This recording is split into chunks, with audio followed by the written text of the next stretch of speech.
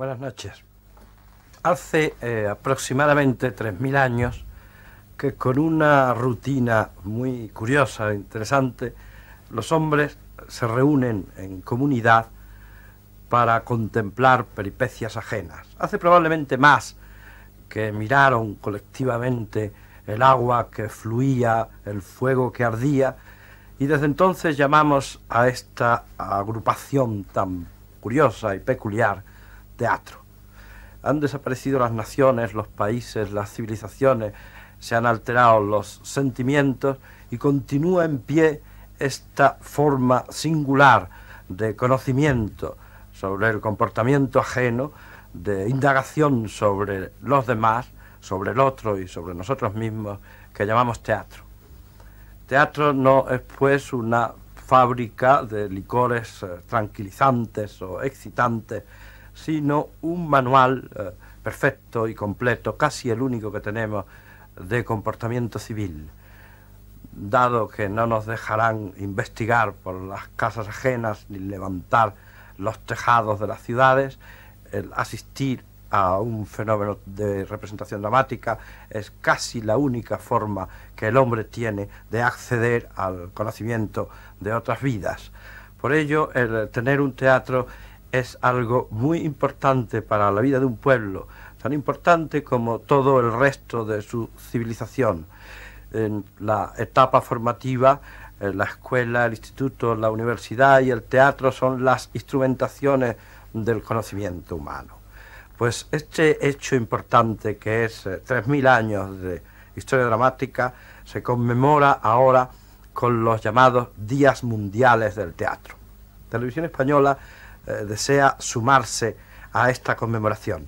No solamente con el estudio 1 que van ustedes a presentar, sino diciendo un poco a cada uno de sus telespectadores en la intimidad que el esfuerzo que realiza para difundir el teatro y en general cualquier espacio dramático es un esfuerzo que Televisión desearía que se cumpliese en cada caso concreto, obteniendo y logrando las mejores representaciones posibles.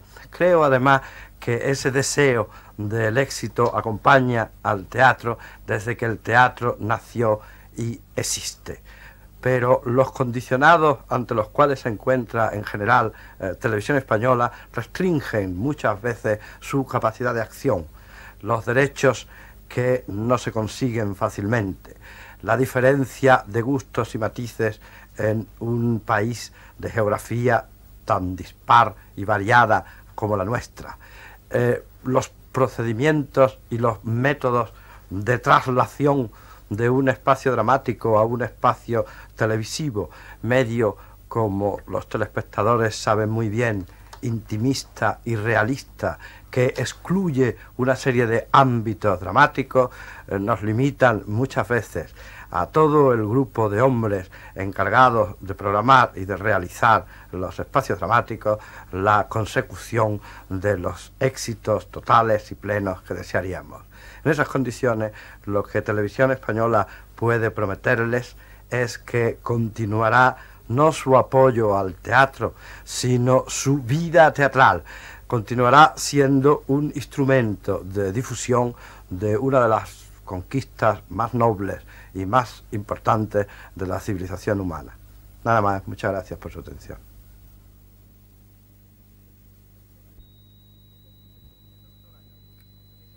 El doctor Ariel, esa estupenda invención de Alejandro Casona, ya es conocido por los espectadores de televisión. Su terapéutica de la poesía y de la esperanza dio fruto con aquella abuela entrañable de los árboles mueren de pie.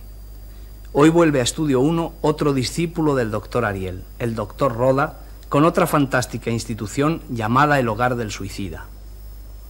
Acaba de florecer la primavera en nuestro calendario y Alejandro Casona nos plantea este título, uno de los más deslumbrantes y extraños de cuantos salieron de su pluma, Prohibido suicidarse en primavera. Federico Carlos Said de Robles hace de esta obra un estudio acabado y consciente. Dice de ella, como acostumbra este escritor, cosas tan agudas y precisas que merece la pena repetir cuando van a abrirse las primeras imágenes que traducen en televisión este sanatorio de almas de Alejandro Casona. Admitimos que la vida sea, como creyó Lope de Vega, una aventura frágil, brillante y polícroma cerca de la muerte. Pero añadamos que tal cercanía no es de irritación, de desafío y hasta de voluntario holocausto, sino por el contrario, de estímulo para vivir, de arrogancia para no temerla, de sabiduría para entender que la muerte es nada entre las dos existencias del ser humano, la mortal y la inmortal. Yo pregunto, ¿esta vieja y admirable doctrina expuesta tan originalmente por Casona no es una auténtica pedagogía del alma? Prohibido suicidarse en primavera, se desarrolla en un solo escenario, el vestíbulo del mencionado sanatorio de almas, pero hoy en nuestro estudio 1 ese escenario único se ha abierto. Las telecámaras pueden permitirnos la aventura de penetrar más dentro. No nos vamos a quedar en el espacioso vestíbulo. Vamos a ver el despacho del doctor Roda y el jardín, y la escalera y las habitaciones de los presuntos suicidas que ven llegar la primavera desde sus claras ventanas abiertas a la vida.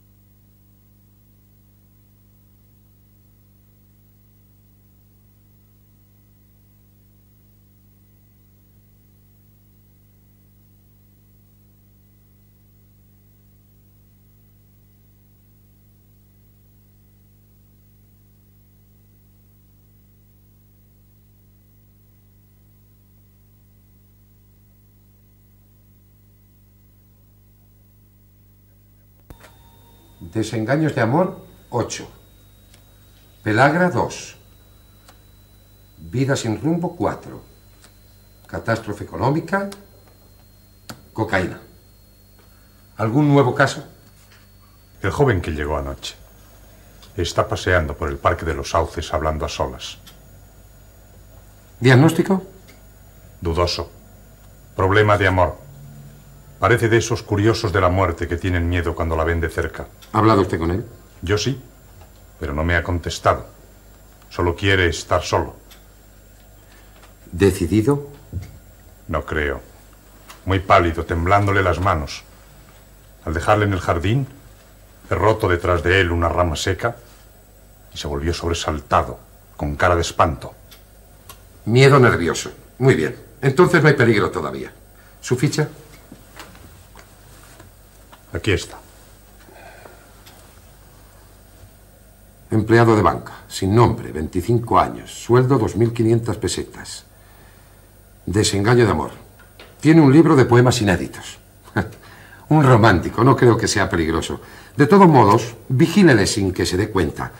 Y avise a los violinistas para que toquen algo de Chopin en el bosque al caer de la tarde. Eso le hará bien. ¿Ha vuelto a ver a la dama del pabellón verde? ¿La dama triste? Está en el jardín de Werther. Vigilada. ¿Para qué? La he venido observando durante todos estos días. Ha visitado nuestras instalaciones.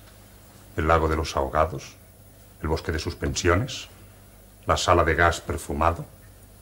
Todo le parece excelente en principio, pero no acaba de decidirse por nada. Solo le gusta llorar. Déjela. El llanto es tan saludable como el sudor y más poético. Hay que aplicarlo siempre que sea posible, como la medicina antigua aplicaba la sangría. Pero es que lo mismo le ocurre al profesor de filosofía. Ya se ha tirado tres veces al lago y las tres ha vuelto a salir nadando. Perdóneme el doctor, pero tengo la impresión de que ninguno de nuestros huéspedes tiene por ahora el firme propósito de morir. Me temo que estemos fracasando. Paciencia, Hans. Nada se debe atropellar. La casa del suicida está basada en un absoluto respeto a sus acogidos y en el culto filosófico y estético de la muerte. Esperemos. Esperemos.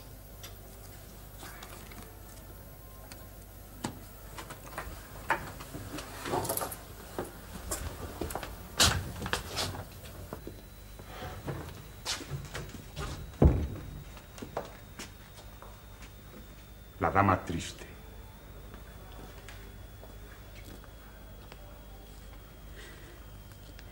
Perdóneme, doctor.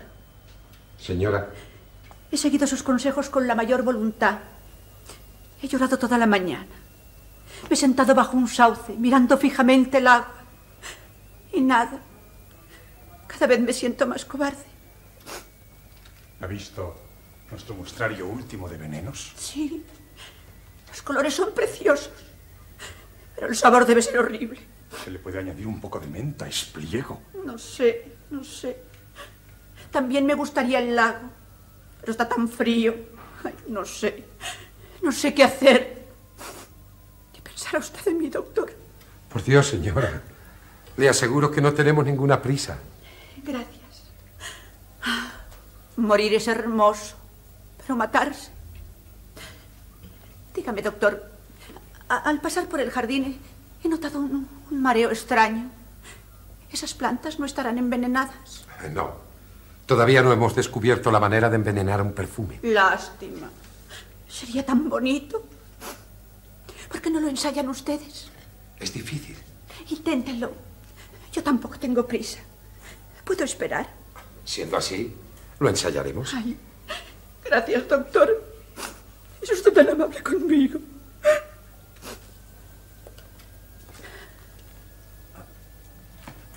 Buenos días. ¿Ha elegido usted ya su procedimiento? No, no, todavía no. Pensaba. Tenemos un sauce especial para enamorados, un lago de ensueño. Si le gustan los clásicos, podemos ofrecerle el ramo de rosas con áspid modelo Cleopatra, el baño tibio, la cicuta socrática. ¿Para qué tanto? Cuando la vida pesa, basta con un árbol cualquiera. Perfectamente. Suspensión. Número de cuello, 37. Largo. 37. ¿Preferencia por algún árbol? ¡Cállese! No puedo oírle. Tiene usted la frialdad de un funcionario. Es odioso oír hablar así de la muerte. Perdón. Un momento. Si no se ha decidido todavía, esa galería no debe atravesarse hasta la hora decisiva. Al jardín de la meditación, por ahí. Gracias. ¿Necesita alguna cosa? ¿Libros? ¿Licores? ¿Música? Nada. Gracias.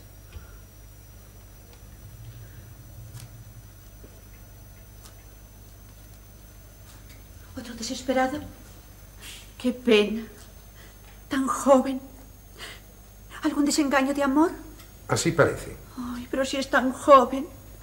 De todas maneras, dichoso él. Quien tuviera una historia de amor para recordar.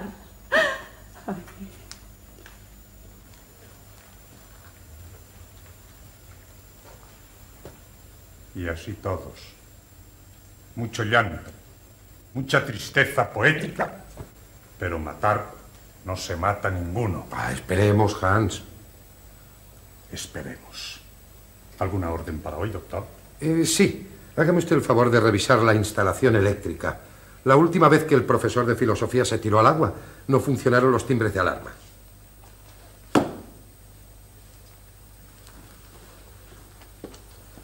¡No quiero morir! ¡No quiero morir! ¡No quiero morir! Paso. Déjeme salir de aquí. Eh, vamos, calma, muchacha. ¿Dónde va usted? No sé, al aire libre, a la vida otra vez. ¿Quién anda ahí? Nadie, ¿eh? He visto una sombra. He oído reír. Eh, Son alucinaciones. ¿Quién es usted? El doctor Roda, director de la casa. Tranquilícese. Siéntese.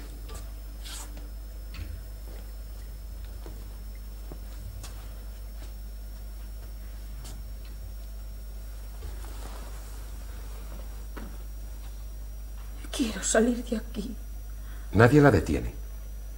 No sé quién es usted, ni por dónde ha entrado, ni por qué ha venido aquí, pero no importa. Ahí está el parque. Bordeando el lago, llegará usted a la carretera. Al otro lado de las montañas, de lejos se ve la ciudad. Es usted libre. La ciudad. La ciudad otra vez. ¿Por qué ha venido aquí? ¿Sabe usted dónde está? Así. Fue un momento de desesperación.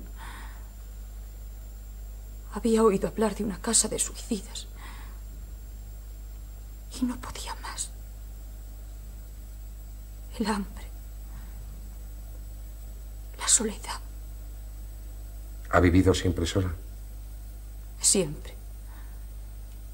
Nunca he conocido amigos, ni hermanos, ni amor. ¿Trabaja usted? Más de lo que podía resistir. Y en tantas cosas. Primero fui enfermera, pero no servía. Les tomaba demasiado cariño a los enfermos.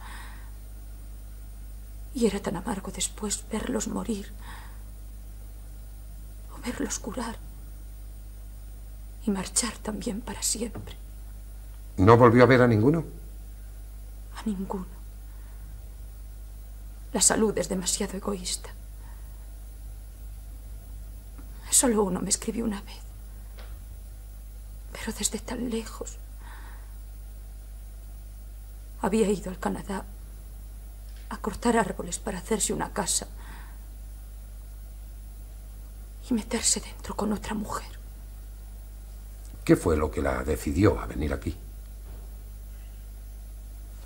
Fue anoche. Podía más. Estaba sin trabajo hacía 15 días. Tenía hambre. Un hambre dolorosa y sucia. Un hambre tan cruel que me producía vómitos. En una calle oscura me asaltó un hombre. Me dijo una grosería atroz enseñándome una moneda y... Y fue tan brutal aquello que yo rompí a reír como una loca hasta que caí sin fuerza sobre el asfalto, llorando de asco, de vergüenza, de hambre insultada. Comprendo. No, no lo comprende usted. Aquí, entre los árboles y las montañas, no pueden comprenderse esas cosas. El hambre y la soledad verdaderas solo existen en las grandes ciudades. Allí sí que se sabe lo que es hambre. Delante de los escaparates y los restaurantes de lujo. Yo he sido modelo de una casa de modas. Nunca había sabido hasta entonces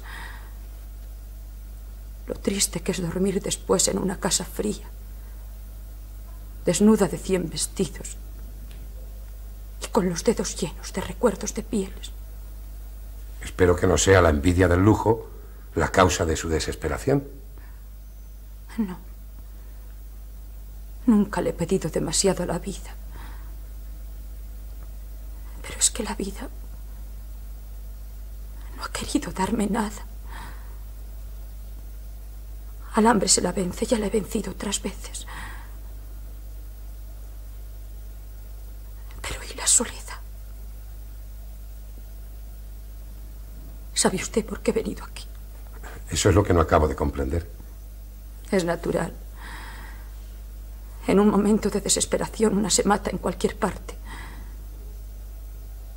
Pero yo que he vivido siempre sola, no quería morir sola también. Pensé que en este refugio encontraría a otros desgraciados dispuestos a morir y que alguno me tendería su mano. Y llegué a soñar como una felicidad, con esa locura de morir abrazada a alguien, de entrar al fin en una vida nueva, con un compañero de viaje.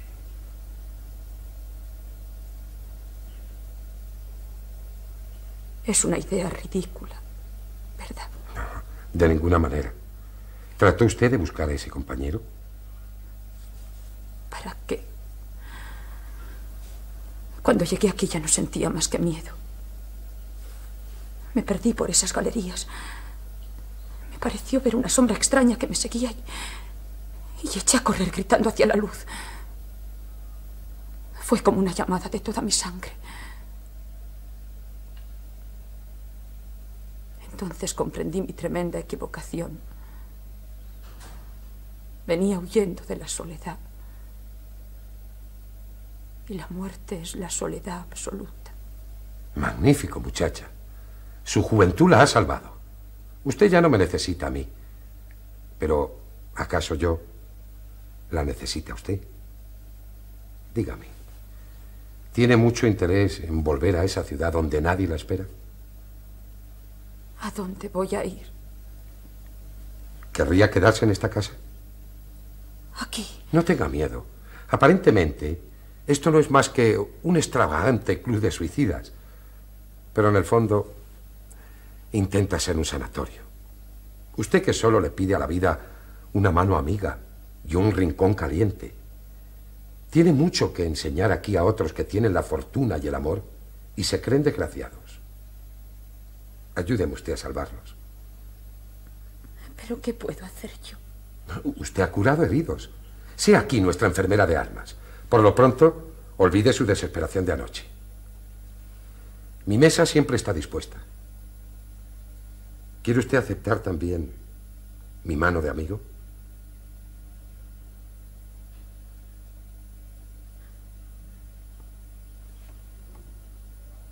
Gracias. Venga por aquí. Y no pierda su fe. No le pida nunca nada a la vida. Espere. Y algún día la vida le dará una sorpresa maravillosa.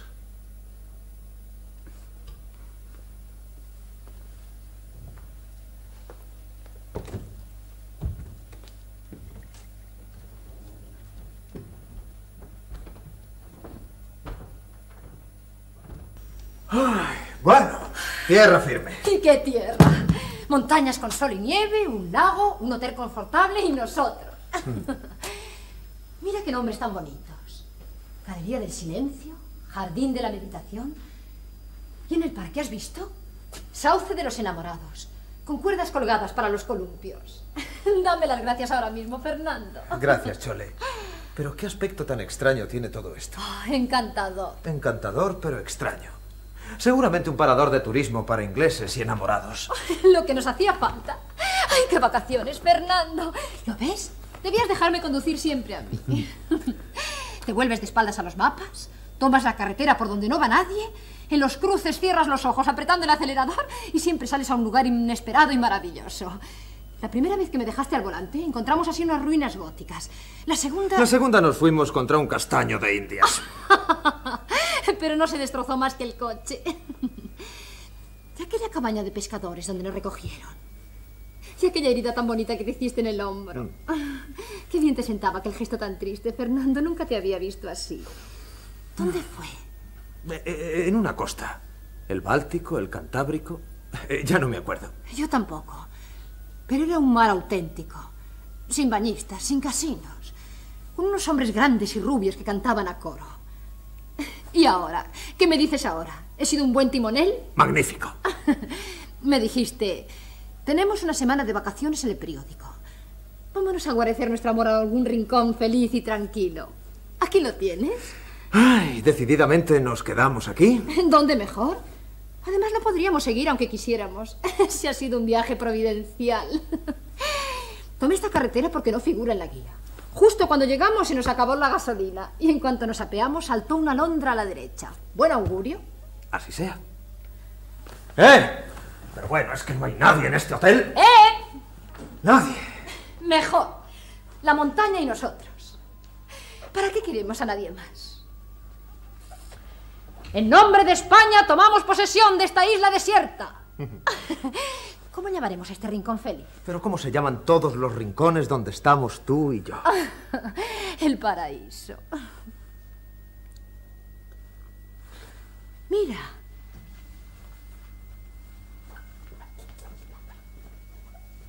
Uy, un despacho. Mira. Sócrates. Siglo V, Grecia. Cicuta.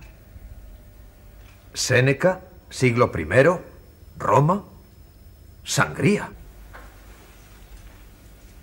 Larra, siglo romántico de España, pistola.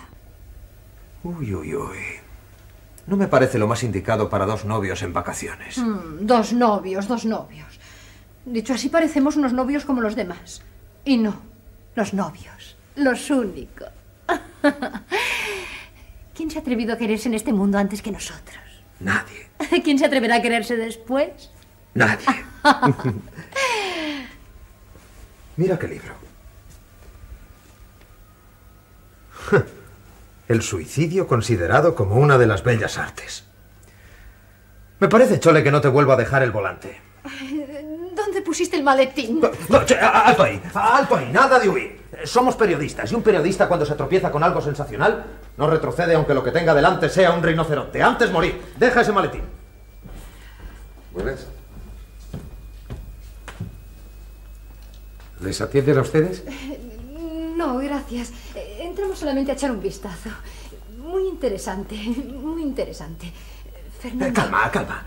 Desconocido señor, permítame que me presente. Fernando Zara, periodista, especializado en reportajes sensacionales. Mucho gusto. Eh, Gracias. Le presento a Chole. Mi novia, mi compañera, mi ninfa y mi estrella polar. La pareja más feliz de la Tierra. Enhorabuena.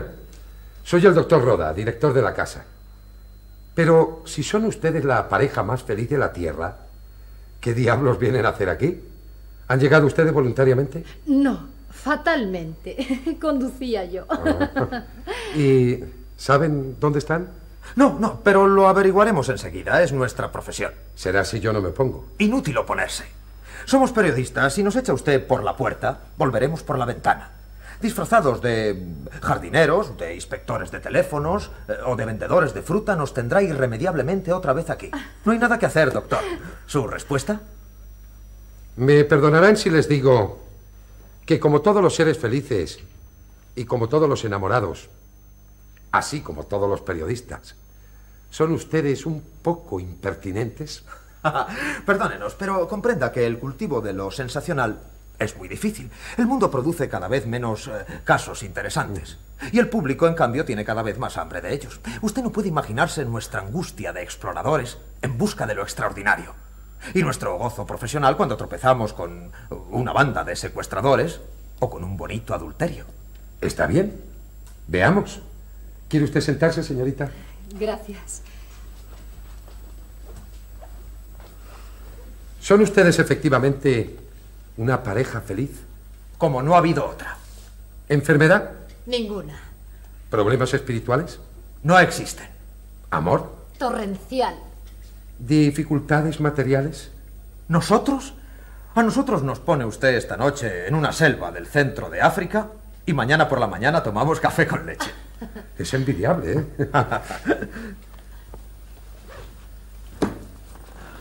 en ese caso, puedo facilitarles su trabajo. Pero ustedes, en cambio, me pueden prestar un gran servicio. ¿A sus órdenes? Para la buena marcha de esta casa, yo necesitaba encontrar los dos extremos opuestos de la fortuna. Una vida en derrota, sin amor, sin pasado, sin porvenir. Y una vida en plenitud, audaz, enamorada, llena de horizontes y de esperanzas. Lo primero lo he encontrado hace un momento. ¿Quieren ustedes ser aquí la vida feliz? A sus órdenes. Estamos en vacaciones. Pues escuchen ustedes. No, no, no, no. Por favor. Prométanme que no escribirán una sola línea hasta que conozcan a fondo la institución. Bien. ¿Conocieron al doctor Ariel? Eh, ¿Al doctor Ariel? Sí, sí, claro, claro. Eh, sí, sí, el doctor Ariel. Bien, no, no le conocieron ustedes, ¿no? El doctor Ariel fue mi maestro. Su familia, durante varias generaciones, fue víctima de una extraña fatalidad. Su padre, su abuelo, su bisabuelo, todos morían suicidándose en la plenitud de la vida. El doctor Ariel vivió torturado por esa idea. Todos sus estudios se refirieron a la biología y a la psicología del suicida. Cuando creyó que su hora fatal se acercaba, se retiró a estas montañas. Aquí cambió sus amigos, sus alimentos y sus libros. Aquí leía a los poetas, se bañaba en las cascadas frías, eh, caminaba dos leguas a pie durante el día y por la noche escuchaba Beethoven. Y aquí murió, vencedor de su destino, de una muerte noble y serena a los 70 años de felicidad. El doctor Ariel dejó escrito un libro maravilloso. Sí, sí, el, el suicidio considerado como una de las bellas artes. Ah, pero lo conocía usted, ¿eh? Bueno, no hace mucho, pero eh, sí, lo conocía. Este libro está lleno de ciencia, pero también de comprensión humana, de ternura. Vea usted la dedicatoria. A mis pobres amigos los suicidas. A sus pobres amigos dejó también el doctor Ariel toda su fortuna. Con ella fundamos eh, el Hogar del Suicida, cuya dirección me confió el maestro, y donde tienen ustedes su casa. Gracias.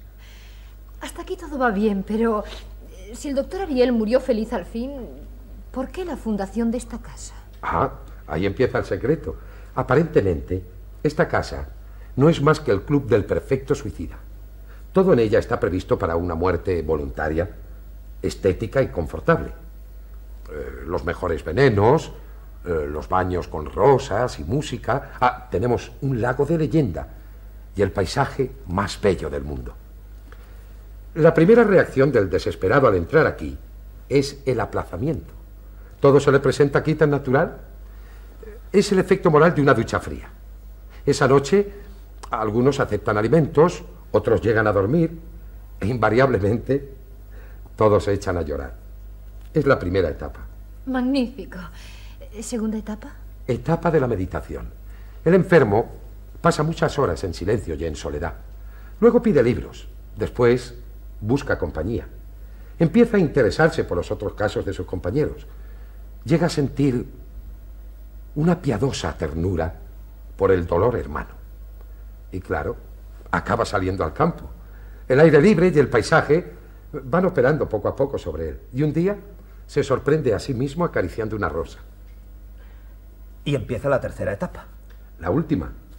El alma se tonifica al compás que los músculos. El pasado empieza a perder fuerza y sombras.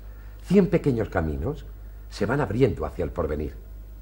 Un día ve las manzanas nuevas estallar en el árbol, al labrador que canta sudando bajo el sol, dos novios que se besan mordiéndose la risa, y una ansia caliente de vivir se le abraza a las entrañas con un grito.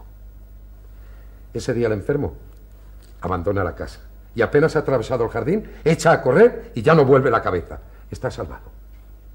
Eh, Sí, sí, todo eso está muy bien, pero permítame hacerle una pregunta. ¿No cree usted que su sistema está demasiado condicionado a la buena disposición del paciente? Eh, ¿No han tropezado ustedes nunca con un suicida auténtico, con un desesperado irremediable? Bueno, aquí solo llegan los vacilantes. Desgraciadamente, el desesperado profundo se mata en cualquier parte sin el menor respeto por la técnica ni por el doctor Ariel. Bien. ¿Puedo. ¿Puedo contar con ustedes? Desde ahora mismo. Bueno, pues voy a encargar que dispongan sus habitaciones. Gracias. Eh, perdónenos. ¿No podríamos, entre tanto, hacer alguna interview a sus pacientes? Mm, bueno, sí, pero, pero con tiento, ¿eh? Generalmente son desconfiados y no, no abren su corazón fácilmente a un extraño.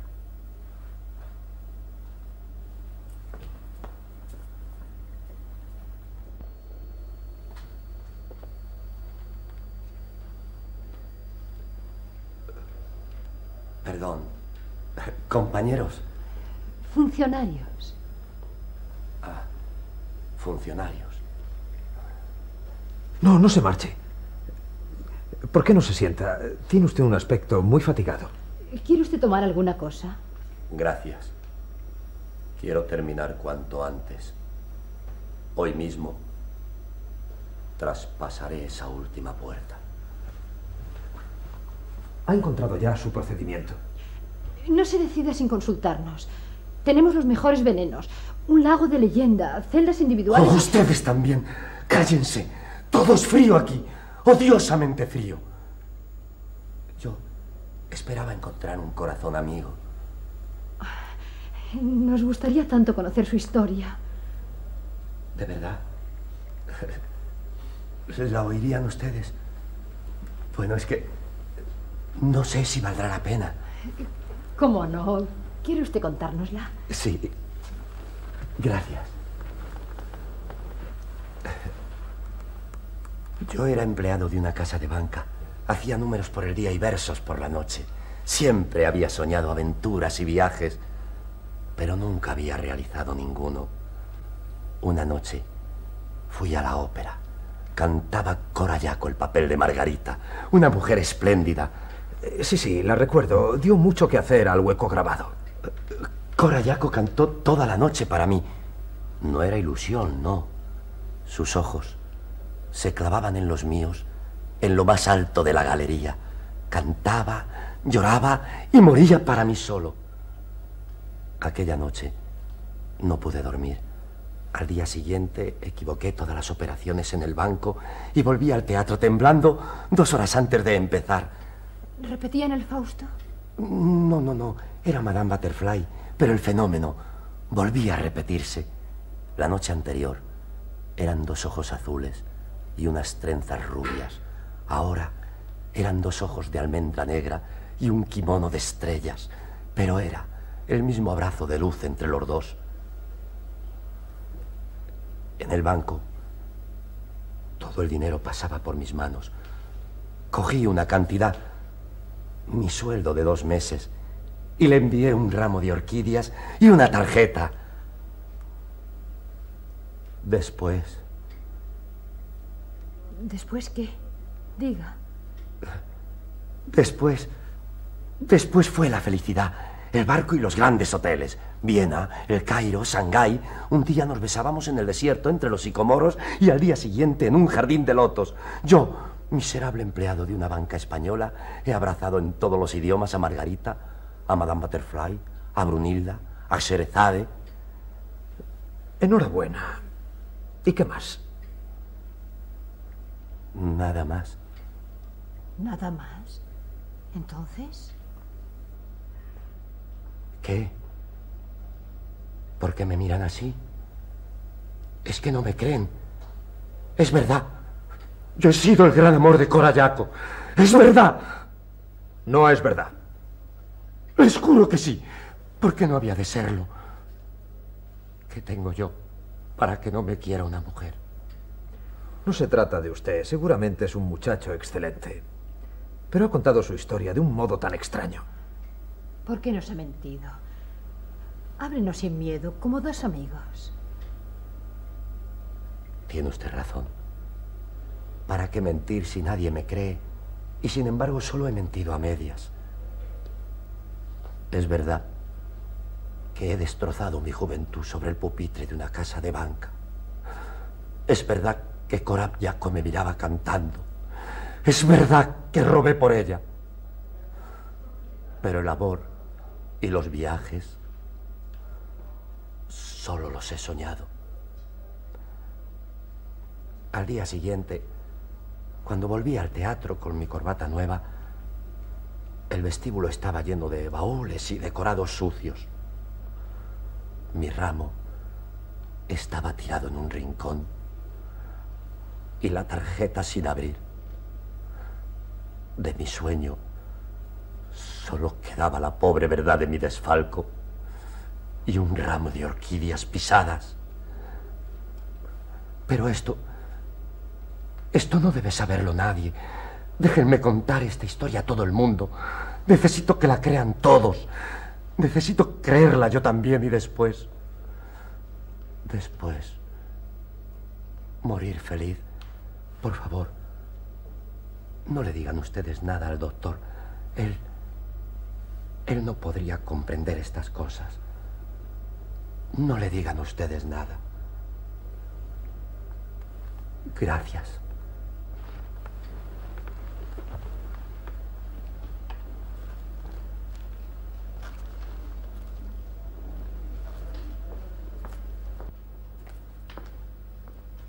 Sus habitaciones están dispuestas. ¿Quieren pasar a verlas? Yo voy. Saca tú las maletas del coche, Fernando. Cuando usted quiera, doctor.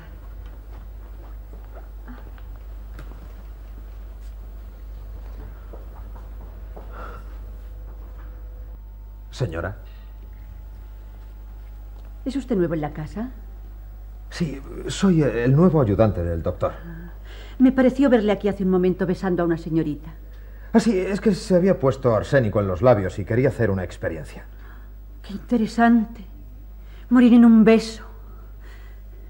Algo así buscaba yo. Eh, ¿No ha encontrado usted todavía su procedimiento? Son todos demasiado brutales. Sin embargo, siempre se pueden encontrar matices. Le he pedido al doctor que probara a envenenar una rosa. Me gustaría tanto morir aspirando su perfume. Yo he leído alguna vez que Leonardo da Vinci hizo un experimento de envenenamiento de árboles. Sí, sí, ya recuerdo. Intentó envenenar un melocotonero a través de la savia, pero aquel verano los melocotones se desarrollaron más sanos que nunca. Yo, en cambio, de pequeño tenía un manzano enfermo en mi huerto. Para reanimarlo se me ocurrió darle en las raíces una inyección de aceite de hígado de bacalao y el árbol cayó muerto de repente. Los árboles tienen unas reacciones muy extrañas. Oh, lástima. Sin embargo, siempre se puede encontrar otra cosa. Eh, ¿Conoce usted, eh, ¿Conoce usted el libro del doctor Ariel? Ah, es un manual perfecto. Eh, permítame, por favor. Vea, vea aquí, por ejemplo, el apéndice dedicado a la distribución geográfica de los suicidios. Veamos. Ah, aquí. Sí, zona del Naranjo. Italia, Rumania, España, predomina el suicidio por amor. Zona del Nogal. Alemania, Inglaterra, Francia, predomina el suicidio político y económico. Zona del Abeto. Dinamarca, Suecia, Noruega. Va disminuyendo el número de muertes voluntarias a medida que aumenta el nivel de los salarios y la democracia. Es la Europa civilizada.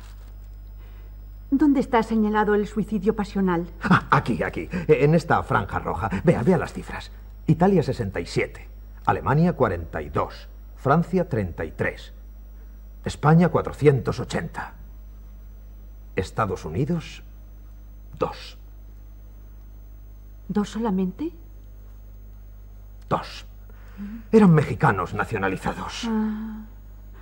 Qué bien ha hecho usted leerme esos datos. Esa estadística me señala el camino de mi raza. Me gustaría tanto morir por amor. Desgraciadamente para eso no basta una voluntad.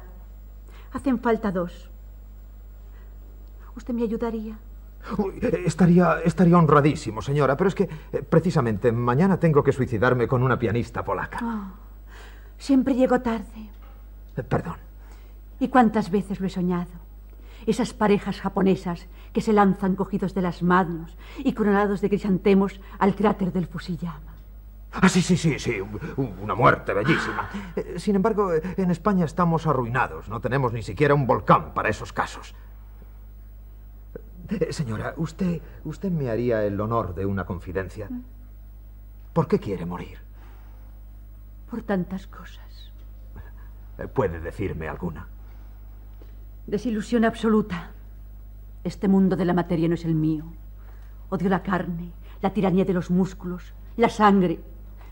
Quisiera haber nacido planta, agua de torrente, alma sola. Tengo lástima de este pobre cuerpo mío, que no me ha proporcionado nunca más que dolor. Y por lástima de ese cuerpo quiere quitárselo de en medio. Me parece excesivo. Es lo que llaman los alemanes tirar el agua del baño con el niño dentro. ¿Para qué conservarlo, que de nada sirve? Mi carne no existe. Solo ha vivido mi alma. ¿Está segura? Vamos a hacer un experimento. ¿Qué desayuna usted? ¿Por qué me lo pregunta? Eh, eh, no se preocupe, luego lo sabrá. Vamos, eh, solo trato de tranquilizarla. ¿Qué desayuna usted? Mm, un vaso de leche, a veces algunas frutas. ¿Almuerza? Apenas. Ternera, legumbres, guisantes generalmente. Ya. Y más fruta, claro. ¿Suele cenar? Lo mismo. ¿Pero por qué me lo pregunta? Tranquilícese, tranquilícese. Vamos a ver. ¿Recuerda usted algún caso interesante de su vida? ¿Ha viajado mucho? Poco. Conozco Londres, París, Florencia. ¿Ha tenido inquietudes artísticas? Toco el piano. ¿Ha leído mucho? Románticos casi siempre. La obra de Víctor Hugo me es familiar. ¿Ha tenido amores? Amor. Una sola vez. Yo era una niña. Casi. Él era teniente de navío. Nos besábamos en el puente del barco. Y un día zarpó rumbo a Filipinas. No le volví a ver más. Magnífico. Pues bien, señora. Calculándole solo media vida y raciones discretas, resulta que para hacer tres viajes cortos, aprender a tocar el piano, leer las obras completas de Víctor Hugo y besar a un teniente de navío, ha necesitado usted tomarse ocho mil litros de leche, ocho hectáreas de guisantes, tres vagones de fruta y diecisiete terneros. El cuerpo, señora, es una realidad insobornable. No, no es posible. Aritméticamente exacto. ¡Ay, qué vergüenza! Pero no lo lamente demasiado. El cuerpo es de un origen tan divino como el alma, y hay que dar al César lo que es del César. Vamos, no se ponga triste.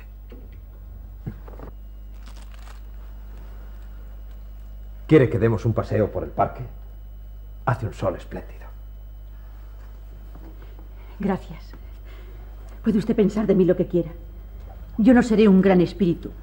Seguramente soy una pobre mujer vulgar. Pero le juro que yo no me he comido esos 17 terneros.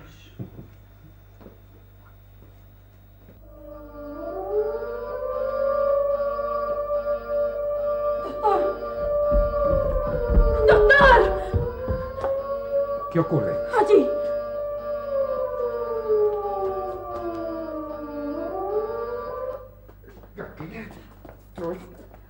¡Caray! ¡Déjeme! ¡Suelte! ¡Quieto! ¡Es mía! ¡No!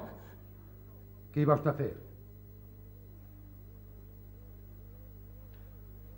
Venga conmigo.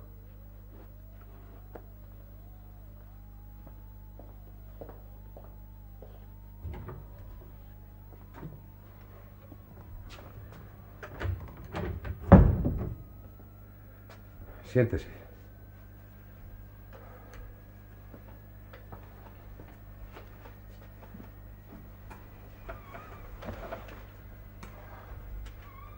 ¿Qué iba a hacer? Morir. Necesito morir. Mañana puede ser tarde. ¿Por qué? Si no muero yo, acabaré matando. Lo sé. Y no quiero matar. Vamos, serénese. ¿Por qué tiene usted que matar a nadie? Mataré. Ya he sentido la tentación otra vez. Lo siento mordiéndome la sangre ahora mismo. Ay, es horrible. Porque él es bueno. Porque él me quiere y no sabe siquiera todo el daño que me hace. ¿Quién es él? Es mi hermano. Todo lo que yo he deseado Todo me lo ha quitado él sin saberlo. Me robó el cariño de mi madre. Me robó la inteligencia y la salud que yo hubiera querido tener. Me robó la única mujer que podía haberme hecho feliz. Él ha conseguido sin esfuerzo, riendo, todo lo que yo he deseado dolorosamente, en silencio y trabajando. Ha pasado siempre por encima de mis entrañas. Y siempre me ha sonreído. Porque él es bueno. Líbreme de esta pesadilla, doctor. No quiero matarlo. No quiero matarlo. ¿Ha ocurrido algo, doctor? Juan. Vosotros. ¿Se conocían ustedes? Es mi hermano.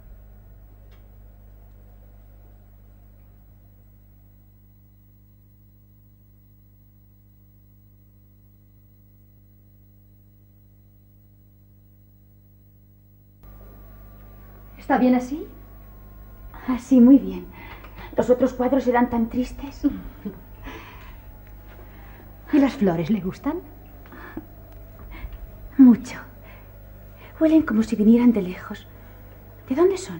Del sur. Las nuestras no han florecido aún. Ya no tardarán. Mañana es el primer día de primavera. En cuanto florezca, tendremos que ponerlas en todas las habitaciones.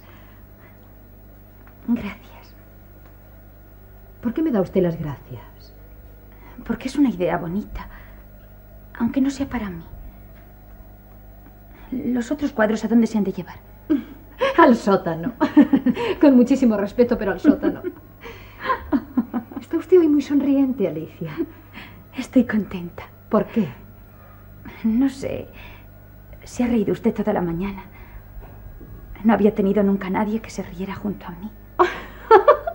Es gracioso. Está usted contenta porque me río yo. Hace mucho bien oír reír. Tampoco había tenido nunca una amiga. Y usted me dio la mano mirándome a los ojos, tan hondo y tan claro. ¿Quiere darme la mano otra vez? ¿Amiga siempre? Siempre. Y no diga usted gracias.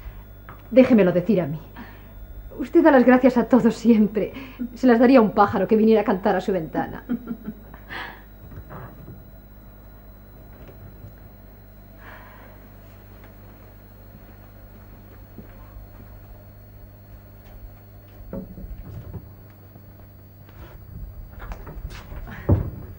Buenas tardes, señorita Sol. Buenas tardes, doctor.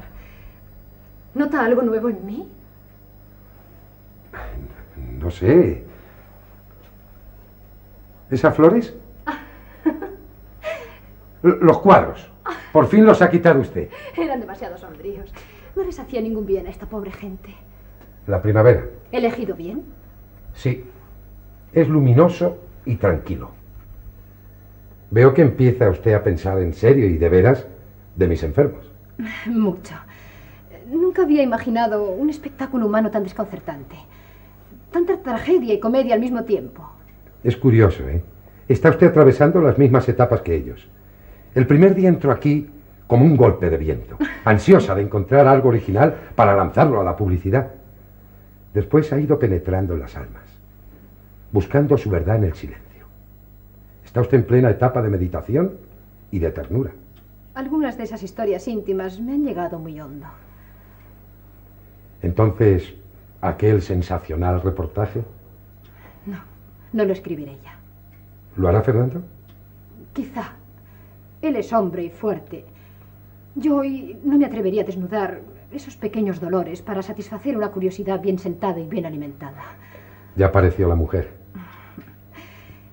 Esa chiquilla siempre sola, que da las gracias a todo lo que es hermoso como si fuera un regalo. Ese pobre empleado de banca que no ha salido de su oficina y de su casa de huéspedes y se sueña héroe de amores y de viajes extraordinarios. ¿Trabaja usted seriamente? Sé que anoche ha estado encerrada en mi biblioteca hasta la madrugada. Sí, me interesan sus libros y sus estadísticas. he descubierto cosas que no había imaginado nunca. ¿Cuáles? Esa contradicción constante del suicida con la lógica de la vida. ¿Por qué se matan más los triunfadores que los fracasados? ¿Por qué se mata más el hombre en plena juventud que en la vejez? ¿Por qué se matan más los enamorados que los que nunca han conocido amores? ¿Y por qué se matan al amanecer más que de noche y en la primavera más que en el invierno? Difícil de explicar para una mujer feliz, pero la observación es científicamente exacta. Matarse es siempre una negación brutal. Pero matarse en plena juventud, en la hora del amor y de la primavera, es un insulto a la naturaleza. Quizá. Es además tan contrario a todos los instintos. Los animales no se suicidan. A veces también. El alacrán, cuando se siente rodeado de fuego, se clava su aguijón venenoso. Pero eso no es buscar la muerte voluntariamente. Es, es adelantarlo un poco para evitar el dolor. Me parece que sin darse cuenta está usted contestando a sus dudas de antes. ¿No cree usted que el dolor es cien veces más intolerable cuando nos rodean el amor y el triunfo o cuando la sangre es joven? No, doctor, no me haga usted dudar. La vida no es solamente un derecho, es sobre todo un deber. Ojalá piense siempre así.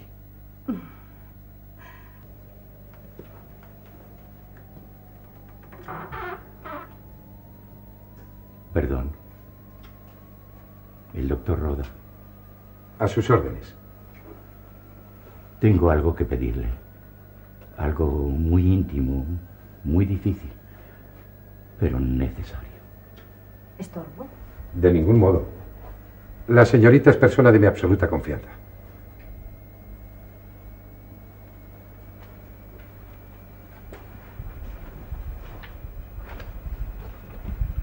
Doctor, hágame usted morir. ¿Yo? Sí, sí, comprendo que es una petición muy extraña, pero es que usted no sabe. Yo también soy médico. He pedido esto mismo a varios compañeros. Todos me compadecen mucho, pero ninguno ha querido ayudarme. Usted puede hacerlo. Yo también lo he hecho una vez. Por compasión, doctor. Le juro que es absolutamente necesario. ¿Y por qué? Porque es una monstruosidad seguir viviendo así. Nunca he tenido grandes motivos para desear la vida. Pero antes la tenía ella. Tenía un deber, unos ojos y una voz que me necesitaban. ¿Y quién era ella? Era mi hija. Estaba paralítica desde la niñez, tendida siempre en una hamaca. Nada en su cuerpo se movía. Solo los ojos y aquella voz de música que era una vida entera. Yo le leía poemas de Tennyson y ella me escuchaba mirándome y hablándome a veces, muy poco, muy bajito, pero bastante para los dos. Hasta que un día empecé a sentirme enfermo. No podía engañarme. Era uno de esos males lentos que no perdonan. Entonces sentí el terror de dejarla sola. Pobre carne mía quieta. ¿Qué iba a ser de su vida sin mí? No pude resignarme a esa idea, no pude. Tenía a mi alcance la morfina y la fui durmiendo suavemente, sin dolor, hasta que no despertó más. ¿Comprenden ustedes? Era mi hija y mi vida. La he matado yo mismo. Y yo estoy todavía aquí. Y estoy sintiendo con espanto que mi mal se aleja, que acabaré por curarme. Y no tengo fuerzas para acabar conmigo. Soy un cobarde. Un cobarde. Sí. La vida es un deber. Pero a veces es un deber muy penoso. Alicia. Es nuestra enfermera. Ella también se llamaba Alicia. Es extraordinario cómo se parecen. Los mismos ojos, pero ella más.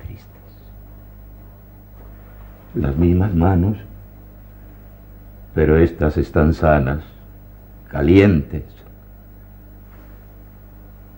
¿Y la voz? ¿Quiere usted decir algo, señorita? Gracias. No. La voz no. Perdón. Tiene usted una voz muy agradable, señorita. Pero ella, cuando ella decía, gracias, todo callaba alrededor. ¿Qué leía usted? Versos. ¿Conoce usted los poemas de Tennyson? Si no le molesta, yo se los leeré en voz alta. ¿Puede ser, doctor? En el jardín. ¿Quiere usted? Usted tendida en una hamaca, quieta, y yo a su lado. ¿Me permite que la llame de tú? Se lo agradezco. No, no, no, no, hablar no. Míreme usted si quiere, pero. Pero hablar no. No diga nada. No digas nada. Alicia. Alicia.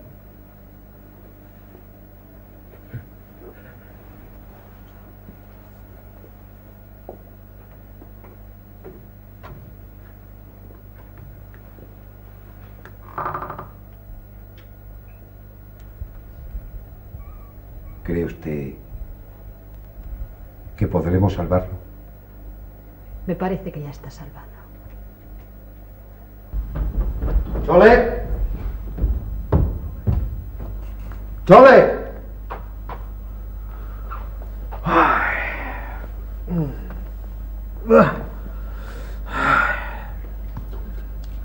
Fernando. Has todo el día. En la montaña desde el amanecer. El doctor se ha empeñado en hacerme sufrir los encantos de la naturaleza. Y has salido sin despedirte. Estabas dormida como un tronco. Como un tronco de sándalo. ¿Te has acordado de mí? Todo el día. ¿Por qué no me has escrito? Te escribiré a la noche. ¿Has visto salir el sol? Sí, si vieras. Sale con una cara de sueño. Y luego, en cuanto asoma, hace más frío que antes. ¿Y es verdad que hay escarcha? ¿Y, y pastores con, con zamarra y rebaños con ovejas? Sí, sí, sí, hay ovejas y, y unos pastores muy brutos con zamarras que les tiran piedras a las ovejas. A María Antonieta también le gustaba vestirse de pastora. y le cortaron la cabeza. ¡Ay! Vengo chorreando salud. ¿No me has traído nada? Ah, sí, una rosa blanca de los Alpes. De esas que solo florecen entre la nieve y sobre los abismos. La he dejado en tu cuarto. ¿Por qué has hecho eso? Dicen que al bajar al llano se deshojan. Pobre Rosa.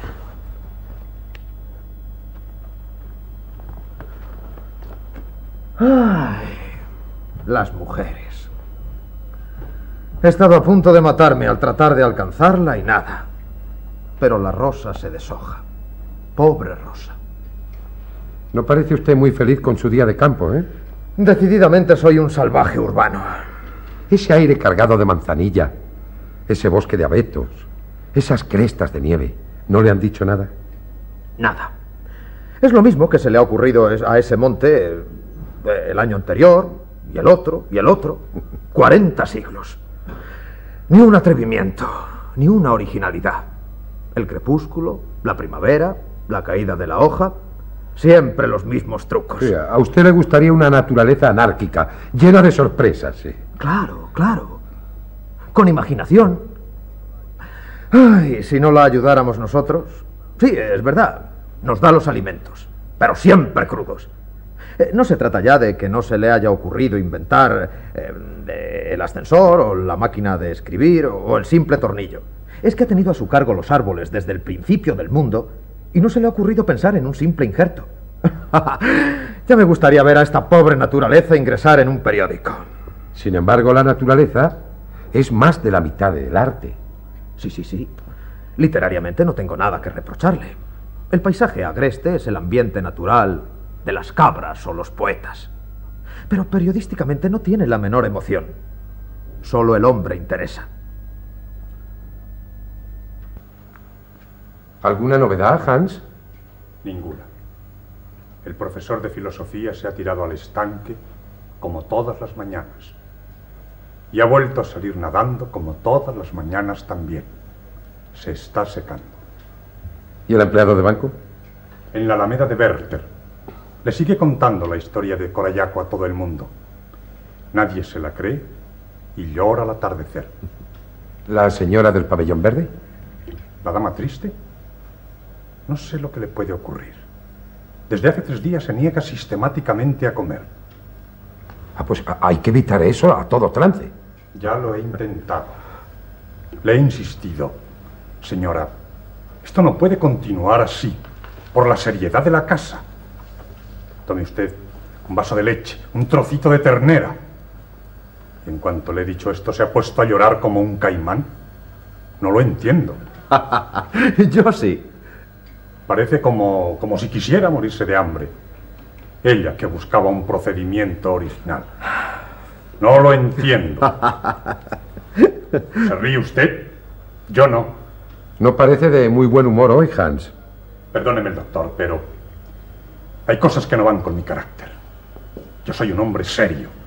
He venido a una casa seria, a cumplir con una función seria. Y desde hace unos días esto no marcha. ¿Desde que llegamos nosotros? Exactamente. ¿Por qué se ríe usted siempre? Nadie se había reído nunca aquí. La señorita Chole también se ha pasado toda la mañana riendo. Y todo se contagia. Al profesor de filosofía ya le he sorprendido anoche, silbando el Danubio azul. ¿A dónde vamos a parar? Calma, Hans, todo llegará. Esperemos. ¿Y ha visto usted? Han cambiado los cuadros, doctor. Sí, ha sido idea de la señorita Chole. Los otros le parecían demasiado sombríos. pero estaban en su casa. Aquel Séneca desangrándose era de una serenidad alentadora. Y aquel Larra, desmelenado y romántico. La primavera. ¿Qué hace aquí la primavera? No es serio esto. No es serio. Es un tipo muy curioso su ayudante. Mutilado de guerra. ¿Mutilado? Sí. Del alma. La guerra deja marcados a todos. A los que caen y a los que se salvan. Este hombre tenía una cervecería en una aldea de Lija. Era un muchacho alegre. Tenía amigos, mujer, unos hijos. Durante la guerra sirvió cuatro años en un hospital de sangre. Después del armisticio, volvió a su tierra. Sus amigos, su mujer y sus hijos habían desaparecido. La cervecería también. Hans era un hombre acabado. Estuvo buscando trabajo en sanatorios y hospitales. Y así vino a dar aquí. Ahora ya no sé si lo tengo como ayudante o como enfermo. Pero eso es muy interesante. ¿Cómo no me lo había contado antes? Tiene interés periodístico, ¿verdad? Escriba. Y cuando termine, venga a verme a mi despacho. Tengo otra historia para usted. Una historia de dos hermanos que tal vez le interese más. Escriba, escriba.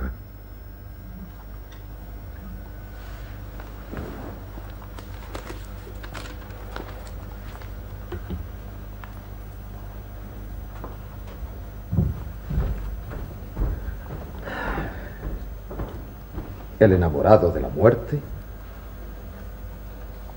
Cervecería. Lieja, 1944.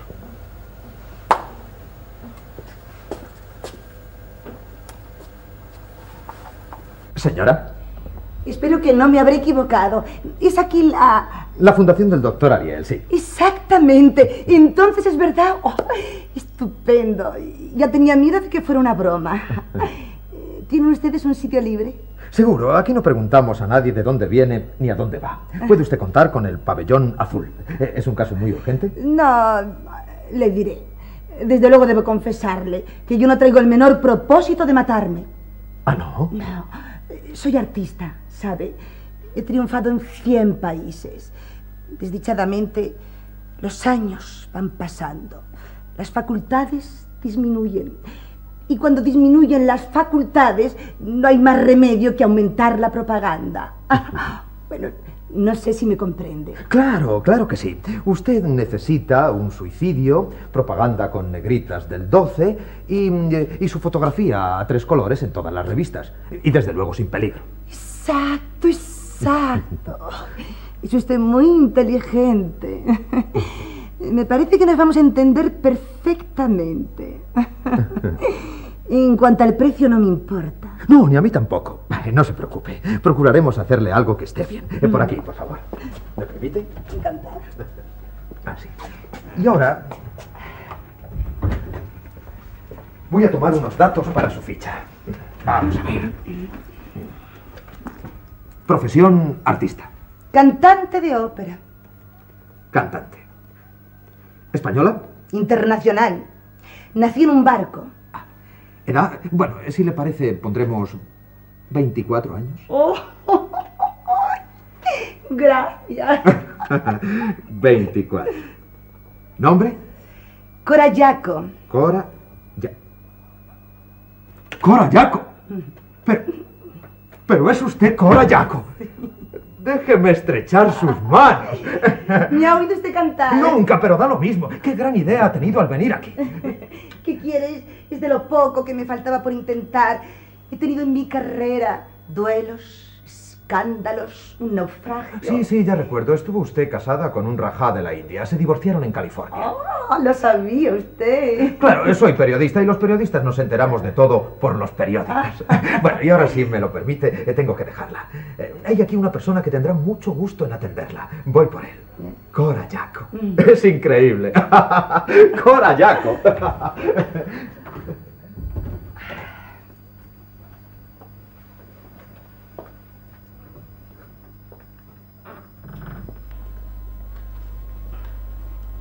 Perdón, ¿es usted empleado de la casa? Entonces es un... un... ¡Qué interesante! Da escalofrío. ¿Y por qué? Amor. He amado mucho. He sido todo lo feliz que puede ser un hombre. ¿Para qué vivir más? Yo he tenido en mis brazos a Margarita, a Brunilda, a Sherezade. Ya. ¿Por qué me mira así? Cree que estoy loco, ¿verdad? Como todos. No es fácil comprenderme. Tendría que haberla visto a ella. Yo la vi por primera vez en el Fausto. ¿Era cantante? Era una voz de plata enredada a un alma. Yo era un muchacho pobre, pero tenía juventud, hacía versos. Cora no necesitaba más. Se llamaba Cora. Cora Yaco. ¡Ah! Cora Yaco. ¡Ay! Pero qué interesante. Yo estaba en lo más alto de la galería, pero toda la noche cantó para mí. Para usted solo. Me lo decían sus ojos que no me dejaban un momento. Volví al día siguiente, le envié un ramo de orquídeas. Aquellas flores costaban más de lo que yo ganaba para comer, pero no podía negárselas. Robé el dinero. ¿Robó usted? ¿Qué no hubiera hecho por ella? Tanto llegó a quererla en una noche. A veces cabe toda la vida en una hora. Mm, ay. ¿Y ella? Ella comprendió. Besó las flores despacio, despacio, mirándome, y así empezó el amor. Una semana en Viena, el Danubio, el barco, salimos para el Cairo. El Cairo. También recuerdo yo el Cairo. es aquel pueblo grande, tan sucio, que tiene el hotel frente al teatro? No recuerdo el hotel. Sí, y que riega las calles con un odre. No sé. Yo solo recuerdo una tarde en camello por la arena roja, las orillas del Nilo, los tambores del desierto y luego las pirámides. Ah, pero hay pirámides por allí cerca. ¿No conoce usted Egipto? Eh, sí, he estado tres veces, pero en el teatro, en el casino. No, no, no. Cora buscaba conmigo el paisaje, el gesto y la canción de las razas. Una noche en Atenas. Atenas. También recuerdo yo Atenas. Y viniendo de Montevideo, ¿no? A veces sí. Sí, un pueblo de terrazas frente al mar, con unos hoteles sin baño, unas comidas muy picantes. Había un empresario rubio que hablaba español. No sé. Yo solo recuerdo aquella tarde en el Partenón. Cora quería cantar la Times de Massenet desnuda sobre las gradas de Fidias. Y luego la India, los dioses de la jungla, con sus siete brazos como candelabros, el Japón de los dragones y los samuráis. ¿Conoce usted Oriente? No sé, he estado allá, pero creo que no me he enterado bien. Ah. Dígame, ¿usted ha estado de verdad, de verdad, de verdad? ¿Por qué me lo pregunta? porque ahora me doy cuenta de, de que no he visto nada. Me gustaría que volviéramos juntos. También yo sé cantar y vestirme la túnica de Brunilda, de Sherezada. Esos ojos. Esos ojos. ¿Quién es usted? Cora Jaco. No, no es posible. No, no, no, no, no, no, no apriete tanto. Ay, tiene que contarme despacio todos esos viajes que hemos hecho juntos. Estoy en el pabellón azul. Tendré un placer verdadero en recibir allí sus flores, aunque no sean orquídeas. ¡Cora! ¡Cora! ¡Cora!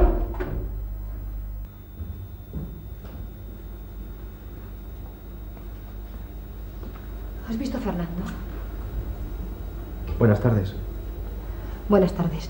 ¿Le has visto? No, Lo dejé aquí hace un momento. no creo que se vaya a perder. ¿Por qué me hablas con ese tono? Te pregunto por tu hermano y me contestas como si te hubiera hecho daño. Era yo el que estaba aquí. Ya, pero yo le buscaba a él. Sí, ya sé. A él, siempre a él. Vas hacia él con los ojos cerrados como si nadie existiese a tu alrededor. Perdona. De nada. Ya estoy acostumbrado.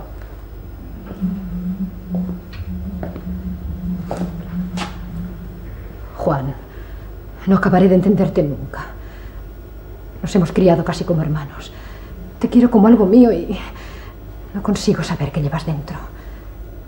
¿Qué guardas dentro de ti que te está royendo siempre? Nada. ¿Por qué te escondes de tu hermano? Desde que hemos llegado aquí no ha conseguido verte ni una sola vez. Si te hablo de él, te ¡Basta, Chole! Háblame de ti o del mundo. O calla. Deja ya, Fernando. es tu hermano. ¿Para qué lo ha sido? Para que yo viera más mi miseria a su lado. Él nació sano y fuerte. Yo nací enfermo.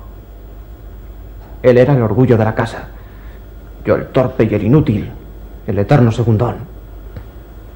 Él no estudiaba nunca, ¿para qué? Tenía gracia y talento. Yo tenía que matarme encima de los libros para conseguir dolorosamente la mitad de lo que él conseguía sin esfuerzo. Yo le copiaba los mapas y los problemas mientras él jugaba en los jardines. Y sus notas siempre fueron mejores que las mías. Pero eso no significa nada, Juan. Fernando no puede ser culpable de lo que no está en su voluntad. Sí, mientras era la infancia. Y esas pequeñas cosas nada significaban. Pero es que esta angustia ha ido creciendo conmigo hasta envenenarme toda la vida. Tú sabes cómo yo quería a mi madre. La he adorado de rodillas. He pasado mis años de niño contemplándola en silencio, como una cosa sagrada. Pero ella no podía quererme del mismo modo. Estaba Fernando entre los dos. Y donde él estaba, todo era para él. Cuando se puso grave y los médicos pidieron una transfusión de sangre, yo fui el primero en ofrecer la mía. Pero los médicos la rechazaron. No servía. No he servido nunca. Pero Juan... La de Fernando sí sirvió. ¿Por qué? No éramos hermanos. ¿Por qué había de tener él una sangre mejor que la mía? Y después... Yo la velé semanas y semanas. Él seguía jugando feliz en los jardines. No llegó hasta el último momento. Y sin embargo, mi madre murió vuelta hacia él. No recuerdes estas cosas ahora. No eres justo. ¿Yo? ¿Yo soy el que no es justo? La vida sí lo ha sido, ¿verdad? Y Fernando también, y tú. ¿Yo? Tú. Pero es que no lo sabes. Es que no te has dado cuenta que después de mi madre no ha existido en mi vida otra mujer que tú. Es que no sabes que has sido para mí tan ciega como todos. Que te he querido como a ella. Que te he adorado de rodillas como a ella. Y que tampoco he sabido decírtelo. Si te gustaban los tulipanes y un día encontrabas un ramo sobre tu mesa, solo se te ocurría pensar, ¿cómo me quiere Fernando? Y era yo el que los había cortado. Si te vencía el sueño en medio del trabajo y a la mañana siguiente lo encontrabas hecho, solo se te ocurría pensar, pobre Fernando. Y Fernando había dormido toda la noche. Ese Fernando se me ha atravesado siempre en el camino. No tiene la culpa, ya lo sé. Si la tuviera, si la tuviera este drama mío podría resolverse. ¿Qué estás diciendo, Juan? Pero no la tiene. Pero lo más amargo es que él es bueno. Es odiosamente bueno. Por eso yo tengo que tragarme las lágrimas. Y ver cómo él es feliz robándome todo lo mío. Mientras que yo, el despojado, sigo siendo el egoísta, el miserable y el mal hermano. calla por el recuerdo de tu madre, Juan. No callo más. Ya he callado bastante. Ahora quiero que me conozcas entero. Que sepas todo lo desesperadamente que te quiero. Todo lo que has sido para mí. Todo lo que estás ayudando a desgarrarme sin saberlo cuando te ríes con él. Cuando le besas a él. Calla por lo que más quieras. ¿No te das cuenta que es odioso todo lo que estás diciendo? Que te estás haciendo daño a ti mismo y que, y que estás haciendo imposible nuestra felicidad. Vuestra felicidad. ¿Cómo la defiendes? Pero óyeme un consejo, Chole. Si eres feliz, escóndete. No se puede andar cargado de joyas por un barrio de mendigos. No se puede pasear una felicidad como la vuestra por un mundo de desgraciados.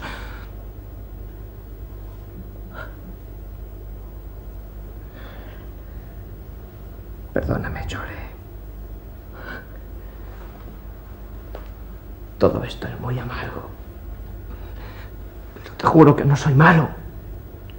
Yo también quiero a Fernando. Si no fuera tan feliz. Si Fernando no fuera tan feliz, ¿qué?